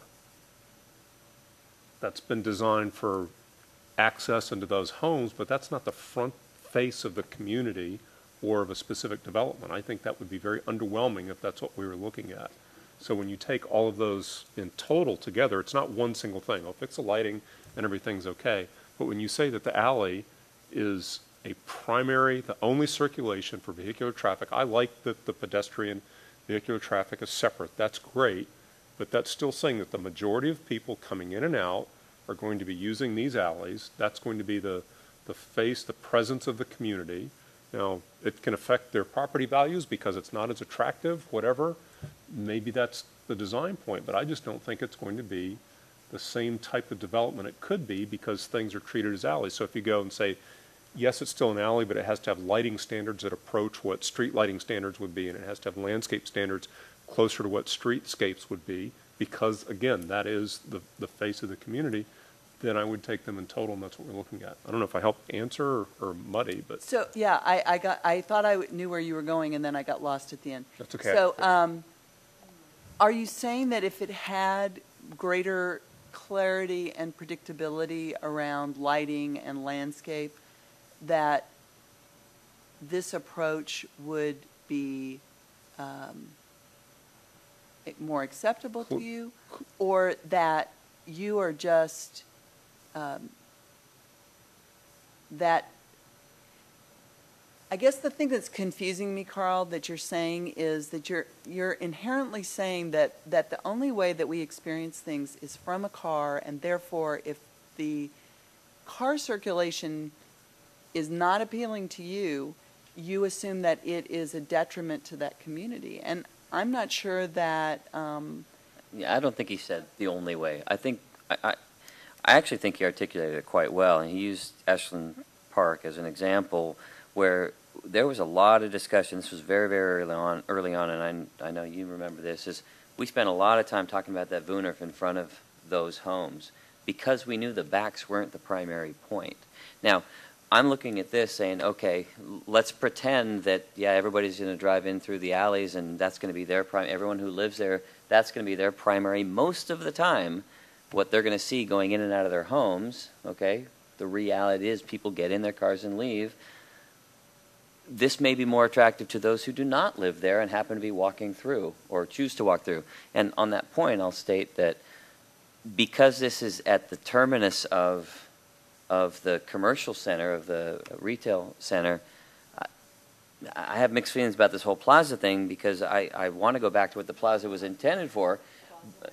but I'm just, I'm just saying that I don't think it's going to be necessarily a through point for the retail center for anyone other than those that live at Discovery Heights and maybe coming from, from Swedish, et cetera. But I guess the point is that's going to look beautiful to them. But I think if you're, if you're trying to, if you're living there, Carl's points are exactly right, and I think it's a, it's a matter of safety, it's a matter of, of aesthetics, it's a matter of uh, convenience.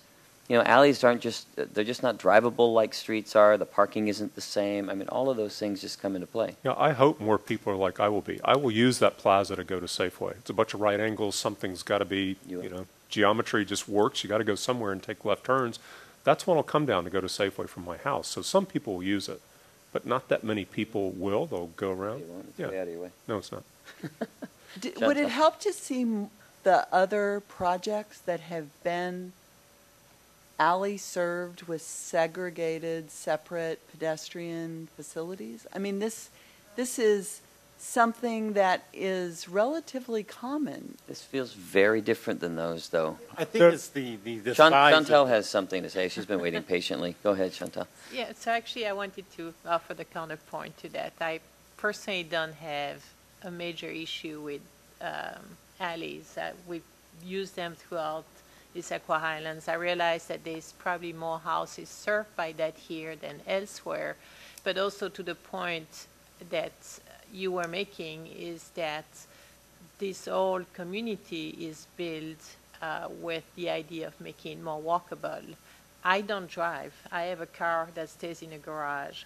I walk to the park and ride. I'm further from the park and ride than those people will be with a bus stop just down the street there at Ellis and uh, Highland Drives, with a grocery store across the street, with all the amenities right around the corner.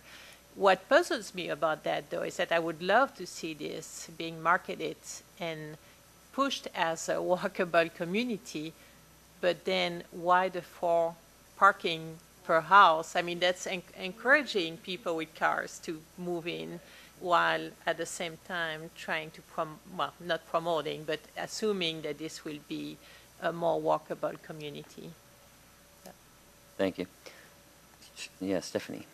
I was going to say, I don't live up in the Highlands, but to me, this looks very similar to a lot of projects in the Highlands that are, you know, very close together, served off the alleyway. And I think a lot of the projects that we've worked on up until now have been a little bit feeling more suburban than urban. And I think this being so close to all the retail is feeling a little bit more urban. And like she was saying, you know, more walking, less cars. You know, the people that are going to choose to be right next to major retail like that are probably going to be more people that walk more and people that maybe that don't even own a car because they're going to be close to other things. So I think marketing it that way is a good idea, and I think it's very much. You know, I have my concerns about the project, but I think it's very much in line with what's been done already in the Highlands, and I think it's appropriate for where it's going to be. Thank you. Eric, did you have something? No, I, I just think it's the scale of this compared to what we've seen before. Uh, that, that's just what grabs me, and, and I may have trouble visualizing, you know, as far as, even though I've seen the, the lot and so forth, you know, visualizing the size. When it's finally built out, you know, we may all look at it and go, well, I don't know what our concern was. Or go like, wow, yeah, that's what our concern was. Uh, I think it's the scale, you know, of just all alleys and the extent of the alleys. And that's, that's why I asked the question earlier. Uh, not that, I think these will sell just absolutely fine. If that's a concern we're having, I don't think that would be a problem, but, um, Eric, how does, it- so I'm, I'm curious, uh, you in particular live in a project that is not dissimilar to this. I mean, there's a street on one side. oh yeah, we're alley, that's it. You know, and we have kids that play in the alley and everything, and, and, um, you know, they're, they're, they're sort of narrow, uh, not narrow, but shorter, so you don't have any, you know, ability to speed through there. You know, everybody comes in, it's a little bit slow, but, um, I mean, they've all sold. They have no problem doing that. Um, I, I actually don't think it's going to be a problem to it's- sell. It's not the extent. Yeah, I think it's beaut. I think it's beautiful. Like the brownstones are nice. Right. I guess my issue with the alleys is that it's the totality of it. There, there are. I mean, there are major streets and commercial around it, and I just don't. I just. It just feels. And maybe I'm wrong. I could be 100 percent wrong, but it just feels. They're just much too long, and it's everything there that doesn't feel like there's a. an out, if you, if you know what I mean. It just, it feels very enclosed, and you have alleys to go both directions and pulling in and out of, out of driveways and, and garages and so forth. I don't know, just I don't know what, the I don't know what the scale was in that picture that we saw of the landscaped alley. But the first thing that I imagined when I saw this plan was in conjunction with the 40-foot building height. I looked at canyons, canyons of, of houses, not very people-friendly, but in terms of number of parking units per dwelling unit relative to the Highlands, this is much better, more, much, you know, answers some of the concerns that were raised about the Highlands and the lack of parking. Uh, I think, I think this is fine, and what it does have is it's got two entirely different characters depending on where you are. If you're in the alleyway, you see something entirely different than when you're out in front of any of the public spaces. And I, I don't really have a problem with that per se. It just seemed like there was uh, two distinct characteristics of the entire area. When you talk about brownstones in Brooklyn, one of the features of those is not only do you have the brownstone face that's, that is on the public side, but you have a street right down the middle of it. So you have everything. You have pedestrians, you have automobiles, and quite frankly, my I've been to Brooklyn one time when I was very very young. I don't think you really want to go in those alleys. so these are these are a lot nicer than this. You know, I mean, th- this is a lot nicer, and I can certainly see as a kid, I can see kids using those alleys on a regular basis as play areas. Um, adults, maybe not so much. But it's a distinct characteristic. You've got a front of your home and you have a back of your home. And never the twain shall meet, especially with some of these units that are six units long. It's like there's no way to get there except through the garage. And uh, then you get out to this hardscape with a little bit of interspersing vegetation. And, you know, why would you do that? I don't know. Get in the car and go. Get out of there. Yeah. So, Thanks. as a pedestrian unit, uh, accessible to shopping and whatnot, I would say, yeah, I'd, I'd probably want to spend most of my time at the front of the house. Yeah, thanks. Appreciate it. So I'd like to respond. We, we cut you off when you were making an offer. Essentially, would you, if you could show us comparables, something that's this, this scale with, with nothing but alleys, would, would love to see that as a comparison to understand. I mean, Well, I- I you don't know to if I Stephanie's point, I lived across from an alley. It, it was a wonderful area, but it was short and it was fed by street. So I think part of it goes back to that totality. I, I think it's a great idea. It's just, is the primary piece is what's got me Yeah, I don't, I mean, I, I don't know that there is something exactly, um, let's see if I can get in, into this.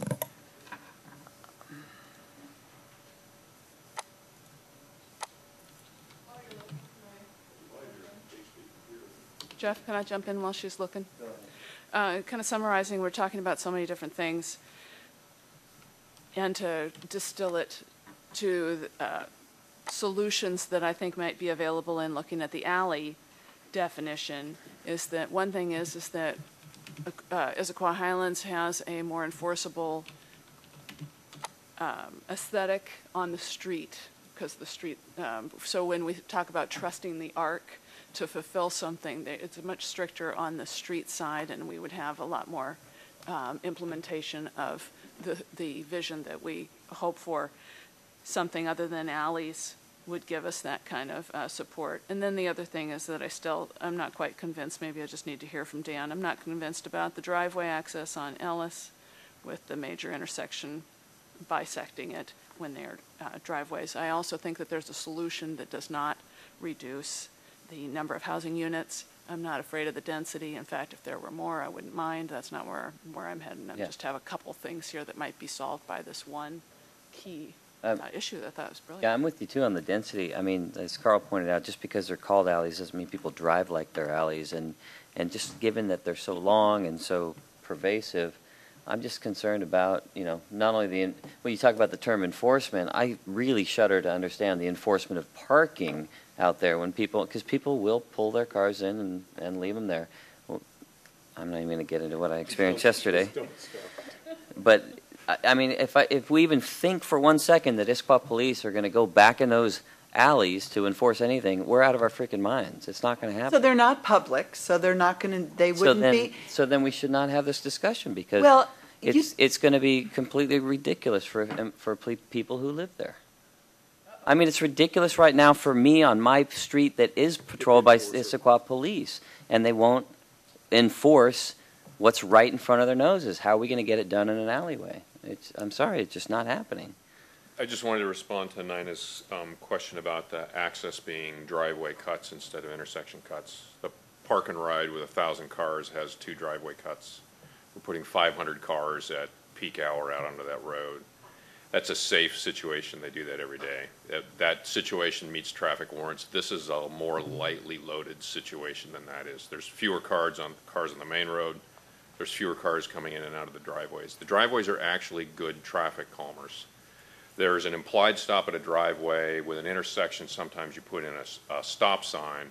In either situation, though, you would have the same traffic control. You have to stop if you're making the movement out of the block into the thoroughfare or into the main road. Whether there's a stop sign there or not is a technicality really at that point. If these were roadway intersections instead of driveway cuts, they would not warrant inter, or signals. So we, we couldn't put a signal in.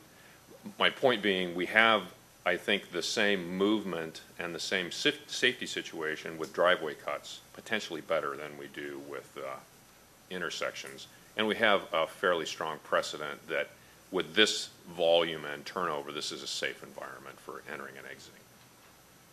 I, I appreciate that point, Dan. That's a, a very good comparison to the park and ride, so that adds a lot of clarity for me. Thank you.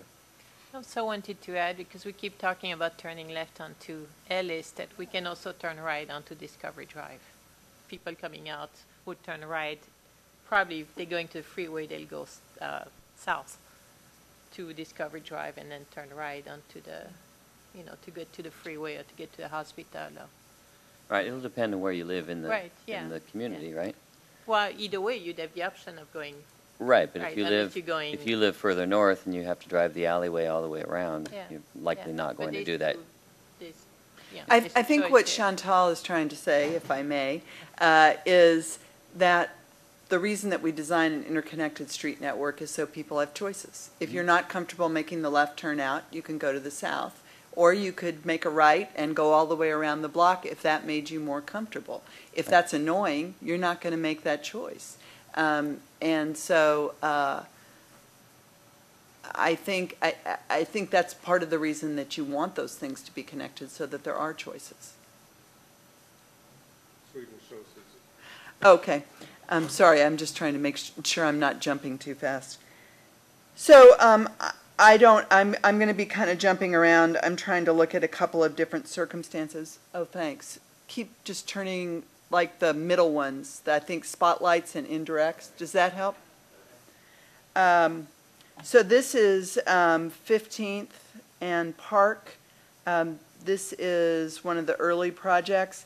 Um, this is not quite an alley, but it's a super narrow street. They have had, um, they would, they would join in the Jeff I Hate On-Street Parking, um, Club.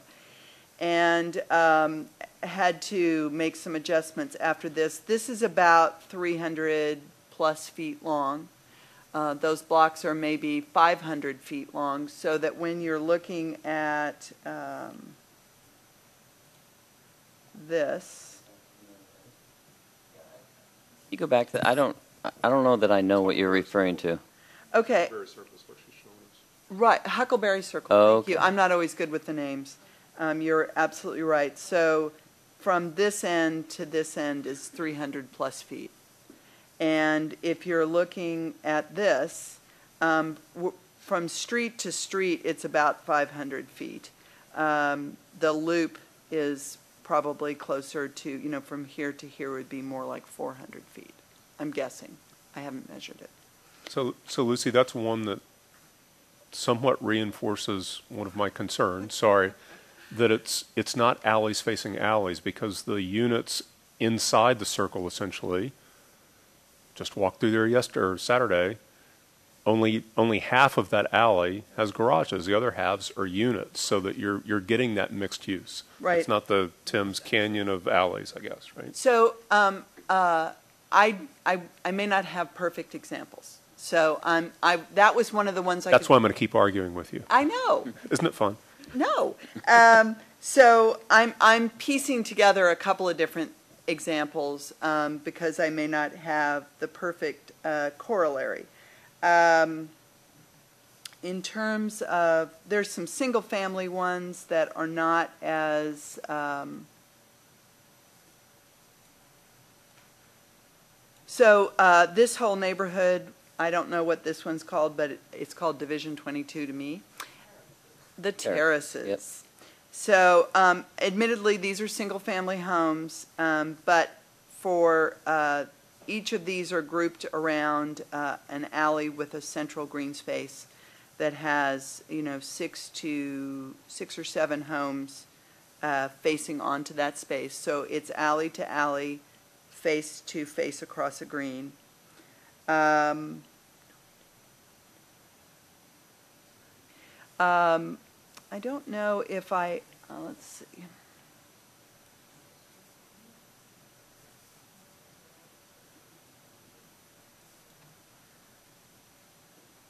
So uh, likewise, uh, I don't know what this project, this is Division 86 and 87 um, and 34. Uh, These again have garage to garage, greens, uh, garage to garage.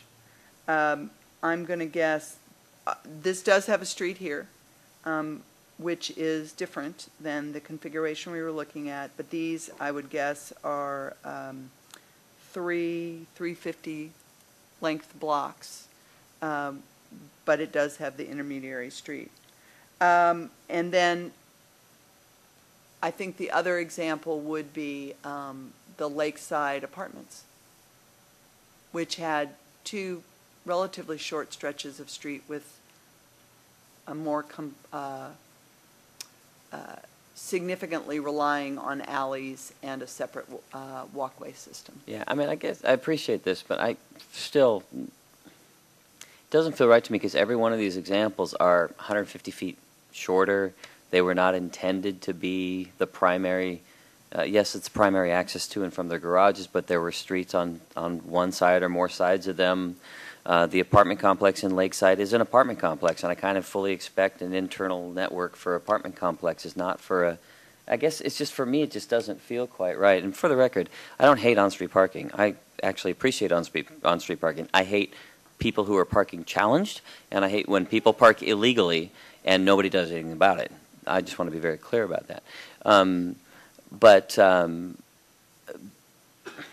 the So scale I- of this is what's that's what's still getting under my skin, and I, I can't.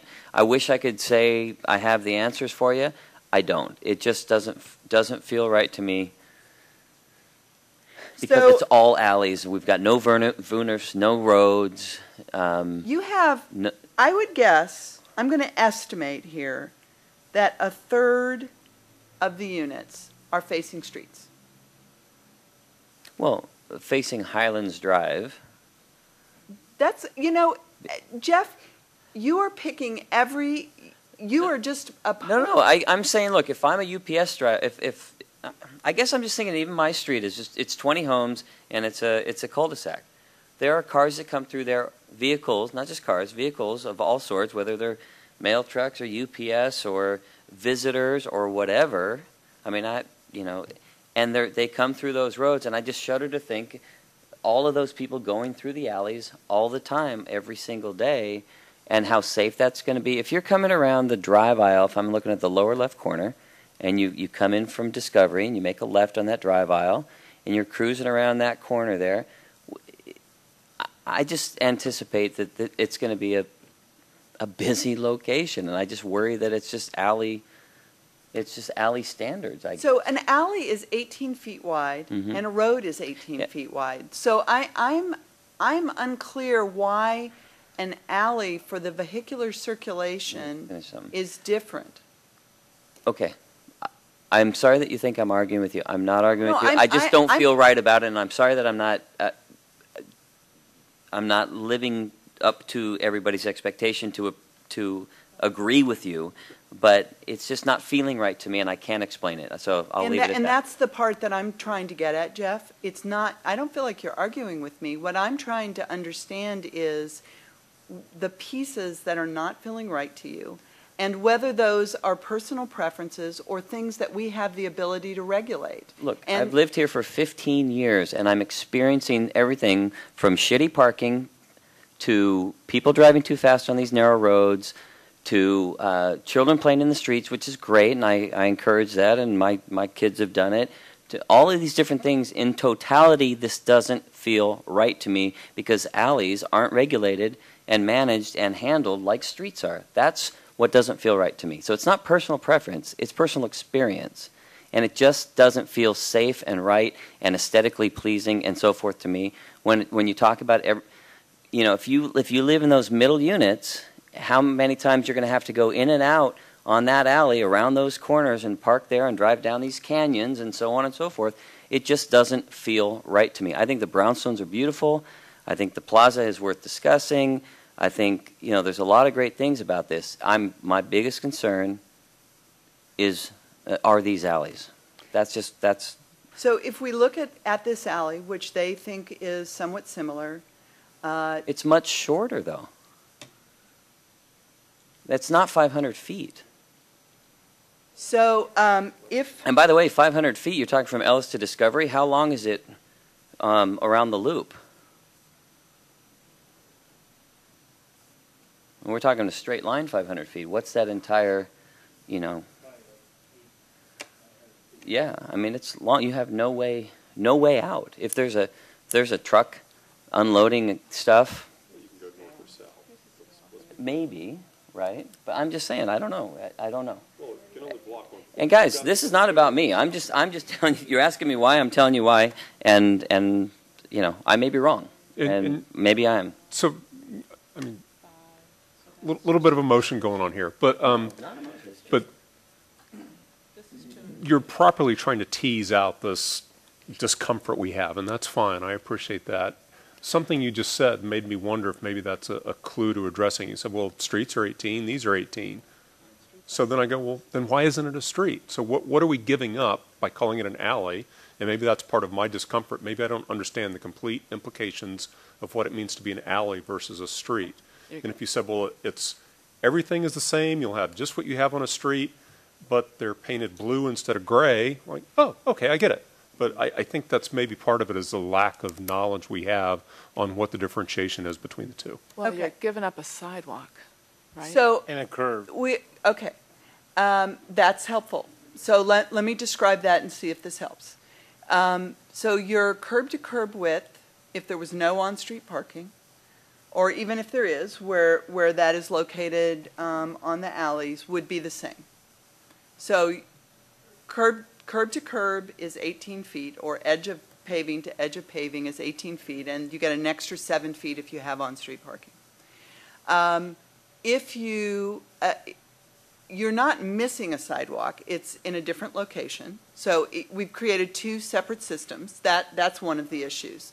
This, those are not co-located. Um, So the, um, and I, and I'm, I'm curious about this because I know that, uh, well, so then you, you do have the garages and you have the driveways. So in terms of um, streets where you have um, garage-loaded streets, um, generally speaking, that's going to be pretty similar. Um, You're going to have, you know, face of building to face of building, uh, and driveway lengths, and curb to curb. Maybe a Woonerf would be the comparison uh, because you wouldn't have the sidewalk, you would have just the 18 feet of paving. Now, we're saying in this instance that the 18 feet of paving is just for cars, and that it isn't designed um, as a pedestrian system. Uh, If this was, if this was concrete, um, I mean, I'm, so I'm, okay, I'm trying to tease out my thoughts as well. Uh, Yeah, um, absolutely. So if we think about, uh, if these were all Woonerfs, uh, mostly what we would be looking for, I mean, I wouldn't love this because it's all garages on the ground floor, but let's say we were okay with that and we were going to do Woonerfs. I think the difference would be that we would have doors facing onto this. Um, But in terms of the building design, the elements that they're showing on the back of the units and which we conditioned for that um, linear park on this side uh, would be the ones that they're identifying. And it's kind of like, uh, think about it this way, with, um, uh, let me think about where I am. Uh, Devco, their very first project, which you looked at, it is designed as a street, but it is kind of an unusual, let's see, I'm getting lost now. Um, I know I'm trying, I'm just having trouble telling which way it's, it- the, I'm scaring the computer.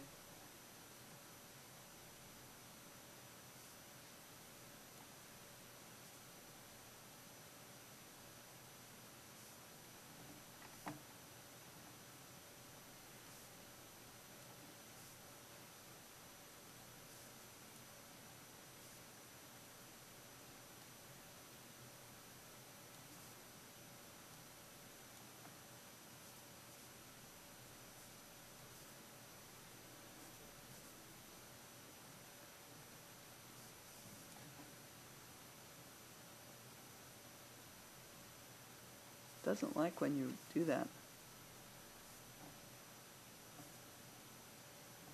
So this um, 10th place that's coming in,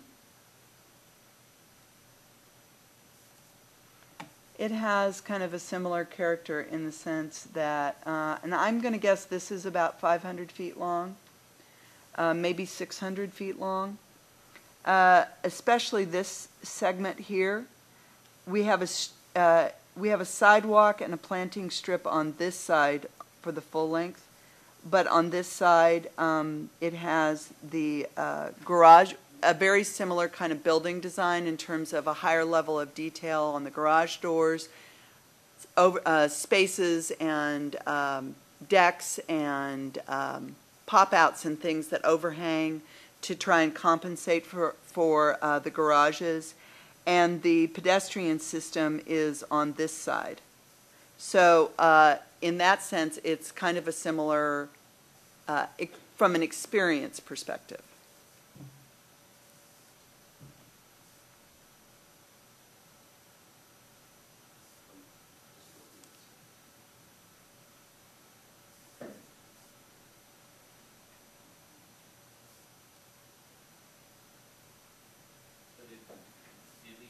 Did we get the question answered?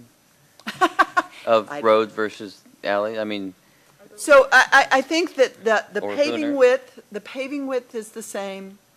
The um, building relationship might be the same uh, in terms of where the buildings are, height of buildings, driveways. The um, primary difference, it would be most similar to a Woonerf, and the primary difference to a street would be that the pedestrian system is separated from the vehicular system. what's that? Uh, The building design standards are different on the street. Yeah. I don't know that that's, that's true, given that they've made this commitment about the backside.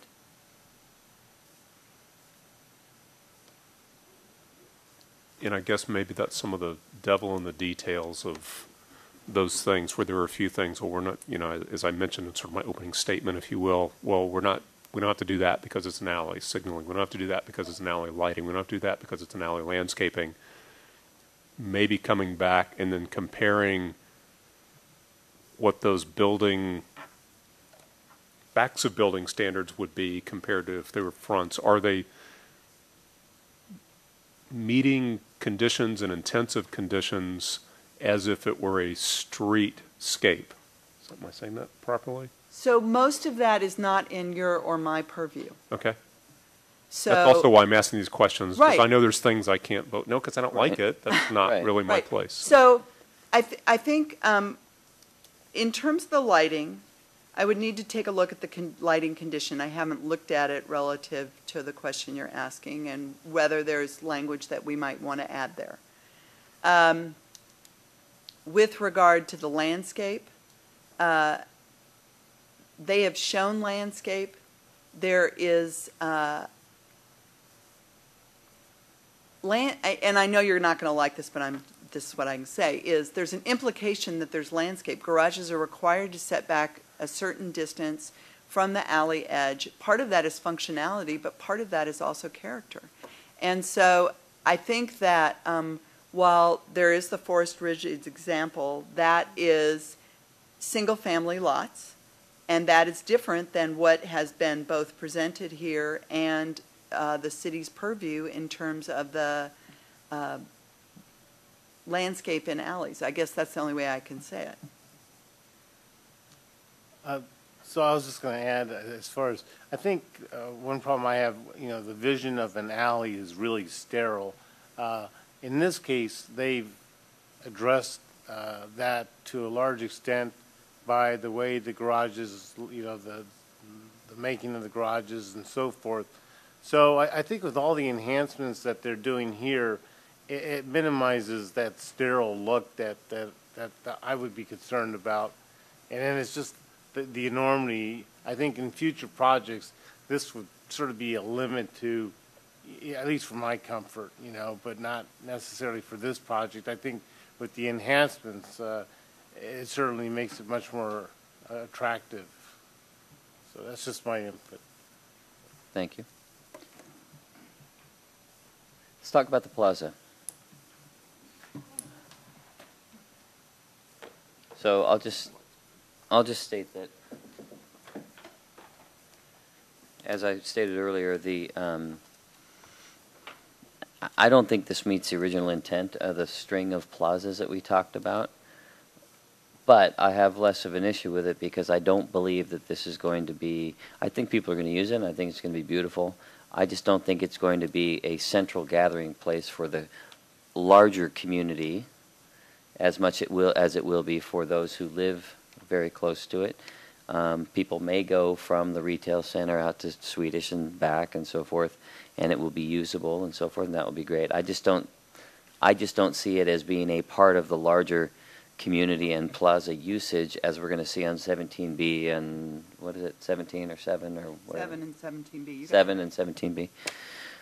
Um, so I, I, I guess my statement is that I don't think it meets the intent. I don't think it's the plaza that we were looking for, but given this particular setup, I don't think it's unreasonable or out of line.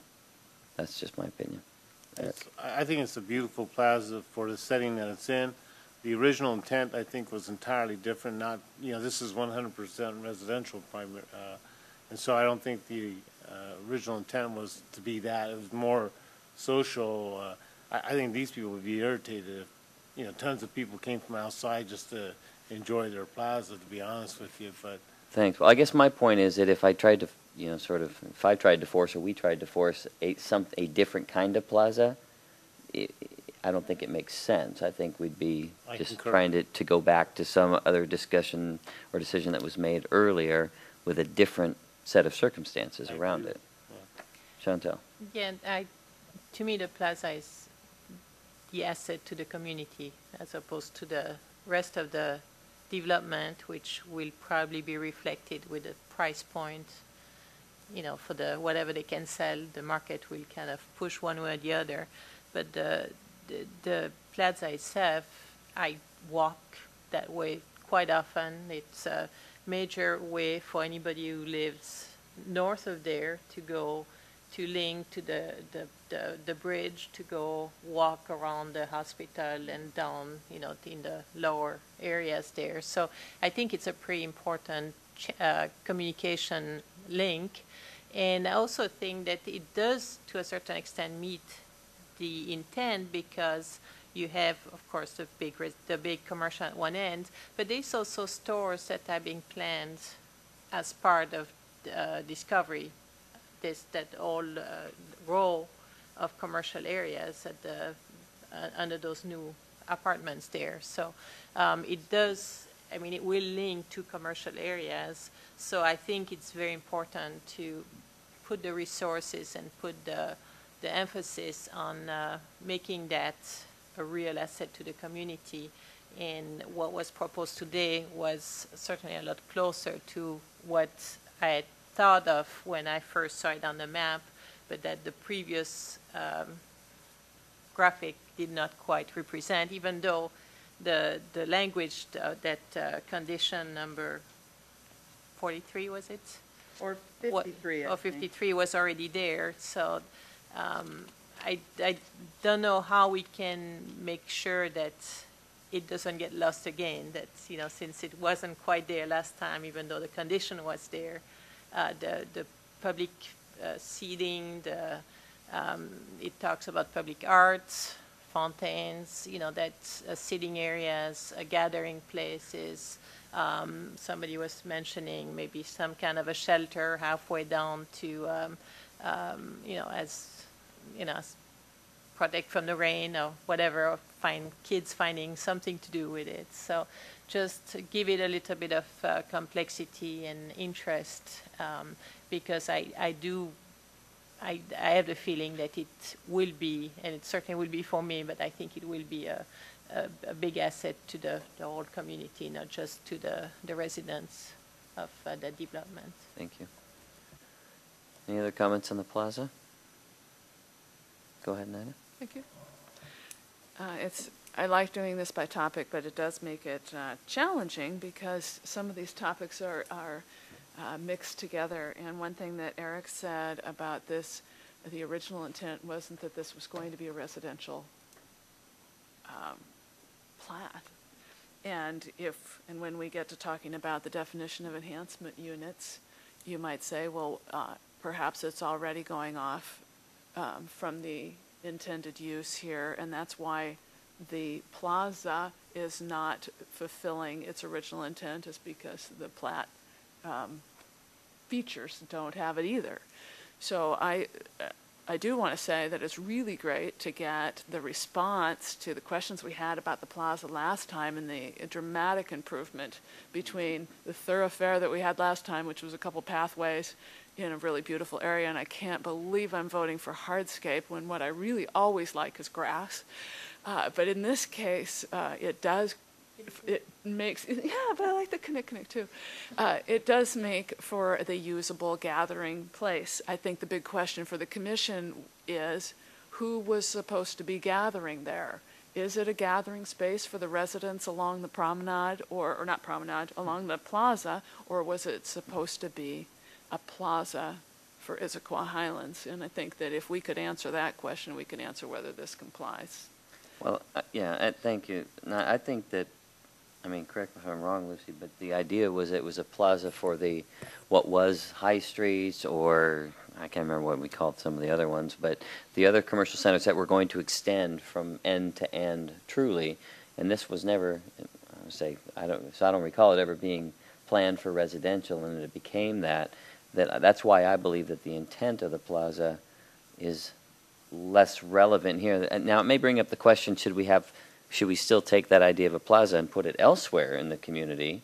But, you know, but, but I think because this is residential, it doesn't serve the same purpose as it would have it, had this been tying together all those, all those retail. Even though there, there may be and will likely be some, some commercial or retail at, at Discovery Drive, you know, that's, you know, we have retail at Block 8, you know, and we're not, it's just there, right? I mean, it's, so I do think people will use the corridor. I think it's a corridor. I don't think it's a plaza. I still think it's a beautiful promenade corridor. We can call it whatever we want. I just think the intent is different now, and, and that's why I'm okay with it.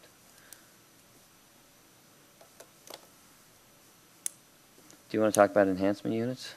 Might as well, because, yeah, because if we're okay with this being a housing development, then I'm okay with this being a plaza of the current design, too. Yeah, I don't know that we have a choice. We, we, I mean, it is, Well, let me, let me um, just present my, um, what I've been thinking about, and Lucy can help because she has uh, some experience, and some of the rest of you were involved in this too. About the enhancement units and the amendment to the development agreement, for the, with the transfer of development rights that came in, 500 units. I remember this going uh, to the Land and Shore, and I attended those meetings as much as I could.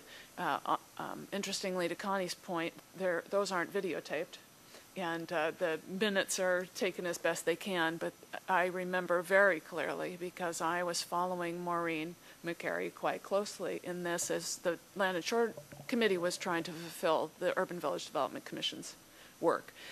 And I clearly remember a day where she said, now Judd, I don't want to be just handing you another housing development because that is not what we want. We've, we've gotten plenty of that and we're looking for a mixed-use urban setting.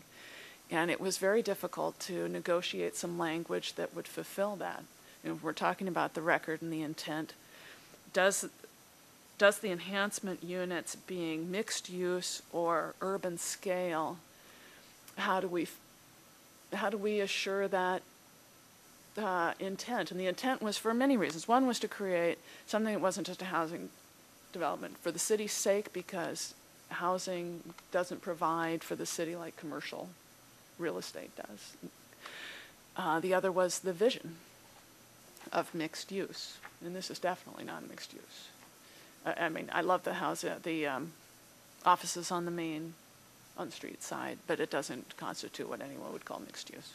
So anyway, just bring that up for um, part of the circle of the topic talk. Um, so it was mixed use or 40 feet. So um, while, I, and I think that uh, you're right. I mean, we're all relying on memory and general notes. Um, I, my memory was that there was a concern about more single-family detached and just kind of more subdivisions, which has been kind of the default for a lot of the um, uh, residential areas. And so there was a goal to have um, uh, denser and/or mixed use. So uh, when Polygon came to uh, the city with uh, this proposal, one of the questions they wanted clarity on was the 40 feet. Because since it steps down, some of these are tuck under units, is it measured from the front, from the back? You know, what, how do we interpret that? So we went back to Land and Shore and said, we need to talk through this because we want to make sure we're meeting your intent. Um, and in talking about that, what they recognized was that 40 feet wasn't inherently the um, wasn't inherently going to create the kind of neighborhoods they were expecting. It was more about density, and so um, that is what the uh, action memo captures: is that the council determined that density was meeting their intent more than the height was, even though these units are generally 40 feet tall, depending on how you measure them. So um, I- think, I, I just, I guess what I want to emphasize is that we wanted to ensure that we were implementing that intent and we needed greater clarity, and that's what the council provided us with in terms of identifying that density was really a better reflection of what they were asking for than height. So at this point, we, we can't debate whether or not residential is appropriate here or not, right? Well, r- residential wouldn't have been the choice, I mean, about whether um, it met it or not, because all along, you could have a solely residential project. It was not resident, eh, 40 feet and mixed use, it was or. Okay. Um, But in terms of, uh, is 20 dwelling units per acre the right um, touch point? I think that is, they've identified that 20 was satisfactory to them to meet the urban density. Are you satisfied with your, where we are? Okay. Um, Some of the other topics were parking, bikes, lighting. um, Any issues with parking at this point? I mean, I, I personally think they've provided enough parking for it. Um, My, I- my biggest concern on this is enforcement. And I, you know, I'm not going to get all crazy about it again, but I, I'm telling you, it's not happening today in the most obvious of places. I, I'll share an anecdote. Yesterday, I drove out to go to the gym. There was a car three feet on High Street, three feet sticking out in the lane. I came back from the gym. It was still sticking out. I called the police. They said, "Oh yeah, we ticketed that car." Great. Five o'clock, I drove out. It was three feet out on the high street still. I came back at 7:30. It was three feet out on the high street. You know, if we can't, and this is in front of the movie theater where there's hundreds of cars going in and out of there now. If we can't enforce on the most obvious places in the Highlands, how are we going to enforce on an alley? And I've got real issues with that. So, I- as a management company, as a HOA, they have the ability to tow within the alleys much more easily than, than, Well, the police have the ability to do it too, but it's not happening. So. well, I, I think, I think what you're identifying with the police, um, This one example, it- it's happening no, all, all but over I- the place. So I just, I, again, I'm just saying, w- I think we're adding to the problem, not taking away from the problem by creating, you know, hundreds and hundreds of feet of alley space with hundreds and hundreds of units being serviced by them. And while it doesn't go against what is, you know, I, I can't say I'm not going to approve this because of that. I'm just telling you, it, it causes problems. And as someone that's been on this commission for 14 years, lived in this community for 15 years, this is all about personal experience, not personal preference. And I just, you know, if it means nothing to everybody, fine, that's cool. But there's a reason why I get all riled up about it. Because it happens every single day, and we're just adding to the problem. When people ask me to represent them here, they're asking me to fix problems, not cause more. And I feel like I'm causing more problems by condoning this, basically. That's what it comes down to. Well, I, I mean, Jeff, I think the point, uh, one of the points that you're identifying that I, I don't have a good answer for is, you know, it's a city policy approach to not pay for parking enforcement, to not have staff that does that. Um, it's a financial and a policy, um, And I guess I can, I can only request that, that the, the applicant have a very stated, clear stated policy on what the rules are, and if someone's violating those rules, what the course of action is, and that somebody follows through on that course of action, because beyond that, you know, I'm not gonna tow them, I'm not gonna ticket them, I, there's nothing I can do about it, but if people live there and they're frustrated, like they live on my street and they're frustrated, like they live on the street next to me and they're frustrated, it, it ju- all it makes for is angry neighbors, you know. And, and, you know, I, I do, com- you know, that's why you had the card of the police officer. I do try and communicate that to them, and I would be glad to communicate it to the administration again.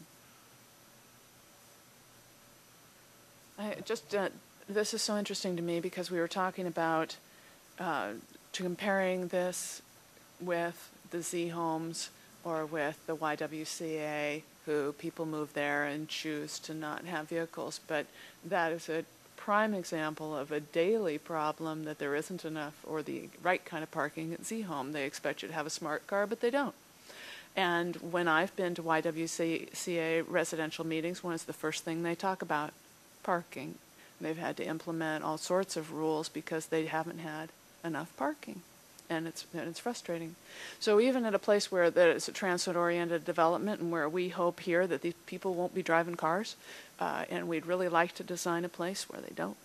Uh, I, and maybe the answer is to strip away this parking and make them not take cars into these alleys, but that's obviously not because people will continue to want parks. It's, it's parking. It's an urban village in a suburban setting, and at the especially the market value of these homes, you're right. They're not going to be working at Safeway. They're going to be working at Amazon or Microsoft or maybe Swedish.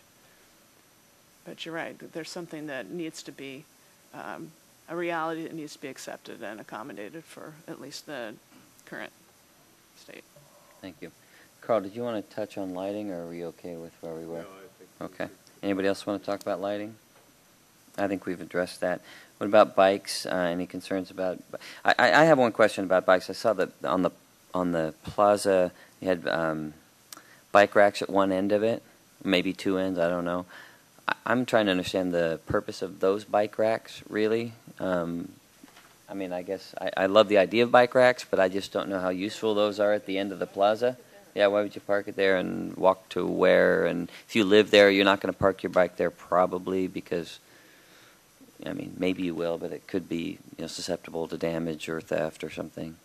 So I don't know. I'm just curious if that's really necessary. Sure. The, where those bike racks were shown was just, I just wanted to show that it was one of the items we're thinking of. There, at this point, there, we still need to go through ARC review, city review. There was not, for this purpose, there was not, um, I- guess, a lot of thought put into where those particular bike racks were. I just wanted to show Okay. these are theoretical elements that could be in the plaza. Okay. So- And I, again, I like the idea of bike racks. I think they're probably necessary, but I'd just be, you know, thoughtful where you put them and how they'll be used. Um, and then the point of, you know, I think David Kapler's point, I'm less concerned about people using it as a thoroughfare with, you know, fast bikes going through, because I think there are a lot of other options. But I am concerned about the fact that, you know, if it, if people, if we're expecting people to ride their bikes on the plaza, you know, and, but they're parking their bikes behind their houses in the garages, it's just going to be a little bit weird. I think they're really going to just use the alleys to ride their bikes. Yeah, like, y- you know, if you're talking the difference in kids and commuters and whatnot, you know, kid, kids are gonna, they're like water. They're just gonna go wherever there's a crack and an opening and Yeah, they're gonna yeah. go everywhere. I think road bikes, you know, if I were looking, I'd be coming down, you know, Ellis or, Discovery. what is this, Tenth? Tenth, yeah. I'd be coming down Tenth to head over to Swedish or something. So I, I don't see through the development as an issue for the high-speed bikes and Yeah. commuters personally. Okay. I appreciate Mr. Kapler's comments and Yep. awareness though. Any other comments on that? Any other topics we didn't cover that you'd like to address? Live work units, anything? No? I just had a comment about the loading zones. Just, you know, in the alleyway, you're still, like, if you're talking a big moving truck, you'd be, you said that people would have other places to go, but if you're in a home, you're not gonna be able to leave your home if that's the only place for moving trucks to be is in your alleyway. And is there any other, you know, I know parking is very limited and it's very kind of lopsided on, on, you know, twenty, block twenty versus block twenty-one. But if there was any other place where you could kind of tuck like a big moving van or something like that, I don't know if that's possible, given the current layout. Um, moving vans are a challenge. I think one of the things that we've seen is that over time, moving companies have realized that bringing the full 18-wheelers in is just not very practical. So you don't really see them coming in.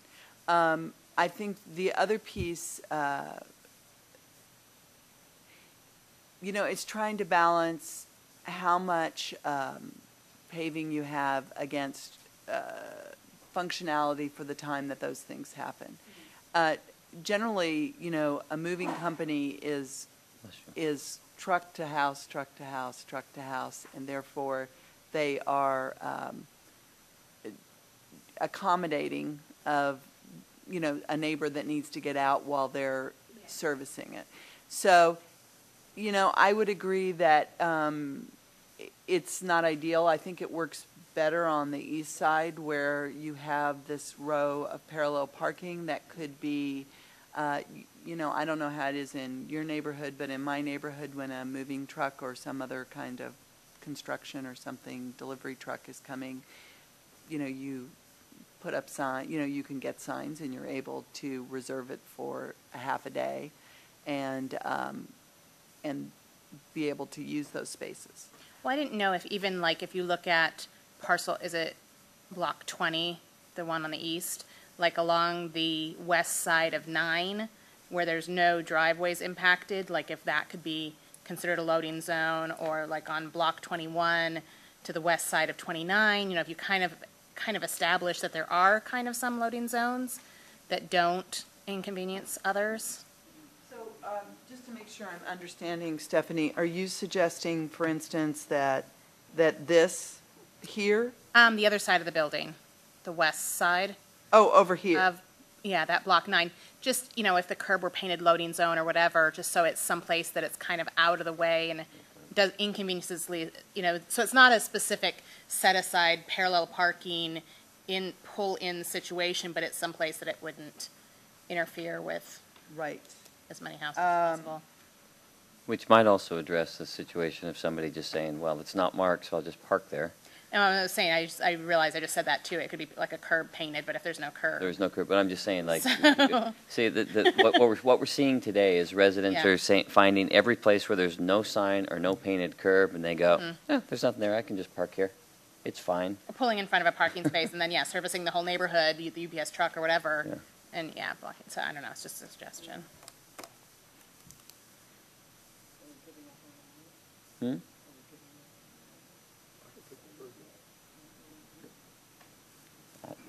Um, So I'm wondering, I'm trying to look at uh, the um, conditions, and I don't know that it's a perfect fit, um, but would the um, mail kiosk condition, if we also talked about uh, uh, where, uh, trying to identify spaces that would um, have less likely to impact? Okay. Lucy, thanks for bringing that up. I actually had that in my notes and got overtaken by my other ideas. But previously, when we had talked about mail kiosks, it was often we sort of threw up our collective hands and said USPS does sort of what they want to do, and then we, are the tail being wagged. This sounds more like we can recommend them to do something. Is that, am I Well- hearing that correctly? Actually, we are the tail being wagged. Pretty much the only way we get, um, that we can push back with USPS is around ADA issues, which isn't really a big one for these kinds of units. However, um, what we do is work with applicants to try and identify good locations that are safe and uh, positive assets to the community, and then they work with USPS to try and, you know, knowing what those preferences are to see if they can make those happen. So it, it, it's kind of a reverse order. Because if I were USPS, I can see exactly where I want to put my kiosks up there. You put parallel parking spaces just so you can pull in, just for me. Well, I mean, I guess that's what I'm thinking about in terms of some of the locations that we've identified. Um, I'm wondering uh, what we've done. You know, we, we need to provide a place for the postal carrier to pull over, but we don't want it to become a parking space.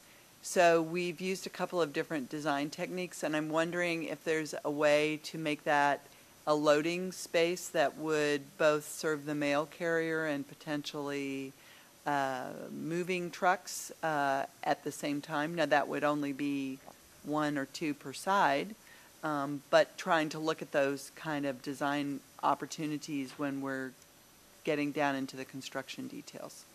My only concern about getting, spending too much time on loading zones is if you were to put a loading zone, let's say at the corner Stephanie was talking about, any UPS, FedEx guy would use that if he were serving one of the 20 houses that's close. Otherwise, he's going to go Yeah, whatever's close. So I wouldn't, mm-hmm. spend- and United Van Lines is going to go where, the door is. where the door is because they don't want to truck furniture well, back I mean, and United forth. Van Lines, you know they're coming, and you're able to work something out. I mean, US, honestly, USPS, I'm not USPS, FedEx and U- UPS blocks my street. They just stop, I mean, because there's, my street has parallel parking on either side, and you have to negotiate. It's a queuing street Yeah. essentially. And they just stop in the middle of the street, and you wait for them. Yeah. Um, I, I don't like it, but, it- you know. Which is it- why I think no matter what we do, that is Yeah. what they will do, and I we all agree. live with it, so. Right, but that, but in my street, there isn't 18 feet from car to car, and uh, there is in this circumstance. So I, I think the, um, the question is uh, how likely they are going to be to pull to one side, therefore a car can squeak around, or not. Um, And I think they're more likely to do that. Mhm.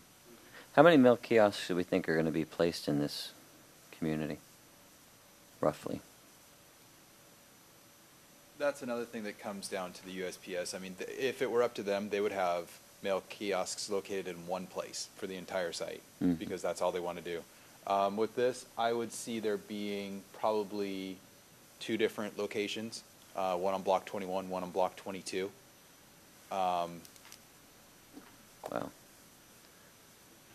It's Probably not very convenient for some of the residents. I mean, I, I, we always push to have as many as we can get because Yeah. you're right, it is more convenient for the residents, but, um, you know, I've had single-family plats larger than this where they, they, they, they've told me, we want to put them all in one place. Two hundred and fifty units in one place. Mhm. Okay. Okay, any other topics you want to discuss? All right, do we have any, uh, we need to go to a, uh, to a vote? Do we have anything to add to this? Well, I was just trying to draft something related to the load zones Okay. and mail kiosk. Okay. In the meantime, um, any other comments from the applicant? Well, I, I was going to say, a- addressing your concern about the parking, um, you know, with this being a, a private community with an HOA, I think that we do have, we actually, we can do something about it where, you know, the police, they can come and they can ticket somebody. Um, but we could ticket, we could have someone towed. Um, I, I, I think this gives us a little bit more opportunity to actually control that. Um, so I think that that's, you know, knowing that the situation that we'll have uh, with this, I mean, that's something that we'll need to be mindful of when we write up the, the, the declaration. uh, Okay. That. Thank you.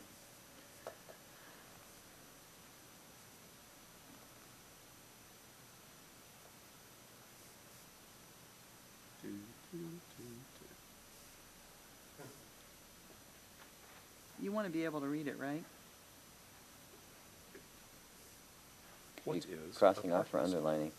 Underlining. Oh, It's, it's my legislative marking. Um,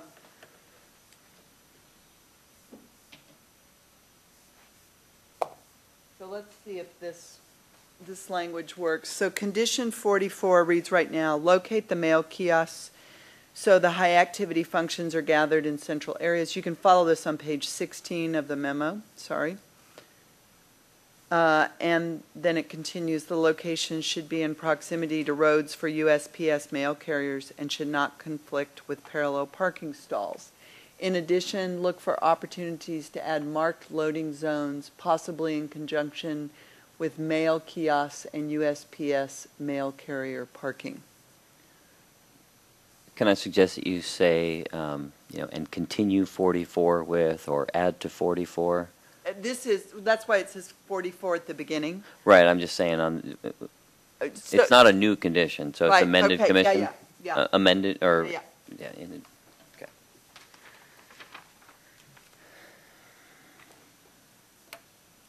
Okay.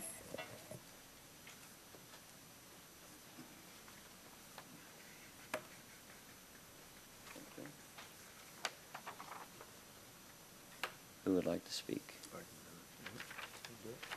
Anybody? feel like reading?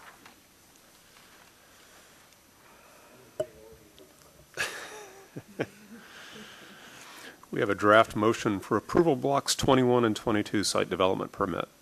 I move that the Urban Village Development Commission approve blocks 21 and 22 site development permit file number SDP 13-00002 as described in the staff report dated June 11, 2013, its attachments A through F, the briefing response memo dated June 18, 2013, and subject to the terms, conditions, and rationale contained in the staff report and briefing response memo and as amended this evening.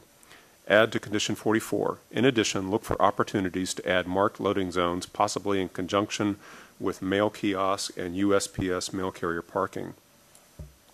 Also, I move that the Urban Village Development Commission direct the Development Services Department to prepare findings of fact and conclusions for review and approval by the Urban Village Development Commission chairperson, affirming the Urban Village Development Commission's decision to approve the site development permit application for Issaquah Highlands Blocks 21 and 22, file number SDP 13-00002, subject to the conditions listed in the staff report, briefing response memo, and as amended this evening. It Period. was good responsive reading. Thank you. We have a motion, do we have a second? I'll second the motion. All right, all in favor? Aye. Aye. All opposed? Pass unanimously. Okay, uh, thank you. Let's move on to um, just op- additional business. Um, Does anybody have anything? No? Um, I just want to say that uh, I'm thrilled that the movie theater has opened up. Um, The plaza, the, out in front of the theater, has been well used in the last three days. Um, I, only question I have on it is, do, do we, well, I'm not even sure we can get this answered, but, you know, they're using hardscapes and so forth for people to sit on and stuff. I just, it's, it's not Cozy? it's not well it's not that it's not cozy it's just the all the places to sit are really low and then the other parts that are not low are wet because they have the water feature so i just don't know if it's complete i don't know if they're putting benches or other things it just so i don't know if we can get some information to them that says you, you I, agree I carl don't mind sitting on a concrete wall. I do mind sitting on one that's three inches off the ground. Yeah, exactly. Uh, So I don't know if it's complete, uh, and we can, we can wait to see, but if not, I'd like to know what the opportunity is to have further discussions about, you know, sort of, um, you know, sort of a review, I guess. Well, uh, we're not meeting regularly with Regency now because the theater's open. But, uh, so I don't think that, so all we have right now for this project is a temporary certificate of occupancy. And there is, as far as I know, been, other than safety, there is no inspection of the plaza. I mean, I, I know I haven't gone out, so I, I don't know that, the answer to that. Now, the thing that I can do is share um, a plan or something so that you can at least see what it's supposed to be, or I can, and, and I guess the question is, does the commission want that like tomorrow, or do you want me to bring it at the next meeting? No, I think the next meeting is fine because I think it's not just that plaza, but also what's going in 17B. You know, if, if there's some issues to, to uh, address ahead of. beforehand, that would be great, and that sort of thing. Just, and it's not a criticism by any stretch, just let's make No. sure it's doing, we're doing the right things. And then one other question, as we're walking through, Carl and I did a tour of, of most of the parking lots and so forth, was, and this is back to the motorcycle parking, but motorcycle and scooter parking, I think, are going to be important still. I didn't see a single spot in any of the garages, parking lots, or anything. Was there not a requirement, or was it just a suggestion? A wish. It's, at Issaquah Highlands, it's just a consideration. And we looked for opportunities, but they hadn't, they had, I they brought found- in a special designer, so there was no leftover space. So the only place that there's motorcycle parking is on Temp. Makes zero sense. I, I understand, I understand. I think we need to have that discussion with them too, because all you do is take one spot in each of the lots and you split it into three little mar- motorcycle scooter parking spots and you've got your deal done. Otherwise, one bike's going to take up one car spot and you're, and you're causing more problems rather than fixing them. Okay. And if we want to encourage people to go on scooters or e-bikes or whatever they are, we got to be doing that sort of thing. So, On a positive note, if I may, thank you for the discussion tonight. In the Regency, as I was walking around there several times over the weekend, it's a great example of the kind of discussion that we have working with city staff and different applicants to realize visions. And you walk through there and you saw, for instance, when you come in and it's a driveway, but it's got the bollards and it's got change in the surface that had the kind of effect we were looking for. So I appreciate everybody working together and having these kinds of discussions. I was, I'm very proud to have been Yeah. working through this process. I, I agree, and I think it's coming along, coming along very quickly and very nicely. And uh, you know, still there will be a lot of questions, and I, I hope that once we make these decisions, they're not just done deals and they go, okay, go run with it, um, but that we continue the discussion and try and make things better. So, thank you. Thanks, Commission. Anything So else? I, I have a couple things. Yes. So, um, one thing, I want to thank the commission. I, I know this is a hard discussion tonight, and I think the important piece of it is trying to, um, the hard part is that we're each trying to figure out what it is that is the uncomfortable, unhappy part, and how much we can do about which piece of it. And I also appreciate that sometimes uh, it's hard to know. I mean, I'm already driving through there and having reactions and thinking, I wish I'd thought of that, you know, before it was built. Um, so I, I- think it's really important to, we, we may not be able to go back and change them, but knowing where you think things are working and think things are not working is a really important piece. I think because we do spend a lot of time negotiating with applicants and, and the conversations that we have here have a huge impact on those conversations. So I really appreciate all the feedback that we get because it makes it uh, it, it makes us more thoughtful representatives and to try and facilitate your perspective even before we get in front of you. So um, we don't take these conversations lightly. Second, um, we're doing something unusual at the next meeting, and I want to give you a heads up. Um, and I've told you this already, but I just want to remind you. The next meeting, we are doing a preliminary plat in one whole meeting. The reason that we, we think that is a um, possible thing is it is 12 lots. It's kind of a crazy little plat. And so um, it is uh, the property that is next door to zHome.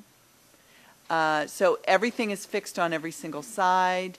Uh, it's completely flat. Uh, it's 12 attached townhomes on single lots. So um, we will, uh, you know, we may even have to take a break in the middle of, you too, um, a break in the middle so that we, you know, because we won't have the chance to go away and do the briefing response memo. So we, no, no, it's not that at all. Just that we're going to want to sit down and, and uh, take all the comments we're hearing and be able to thoughtfully respond to them as opposed to doing everything on the fly. The 16th. Two Of weeks from July. today, right? How does that affect public comment? Oh, I mean, there'll be, it, it will be probably um, structured um, almost like uh, the brief, the um, workshop and the hearing probably on either side of that. So we'll do the regular sort of presentation and uh, reading through the conditions, taking public comment, taking a break, and, and commission comment, taking a break and seeing if we want to propose changes, maybe drafting some things, then coming back and doing the official hearing part. So it, it'll, it'll have, I think, I mean, it's a great question, I, I'm sort of making this up as I'm going along, uh, that, uh, you know, I think it'll have the same structure, it'll just all be in one night. So I just wanted to give you a heads up, because that's um, not the way we usually do it.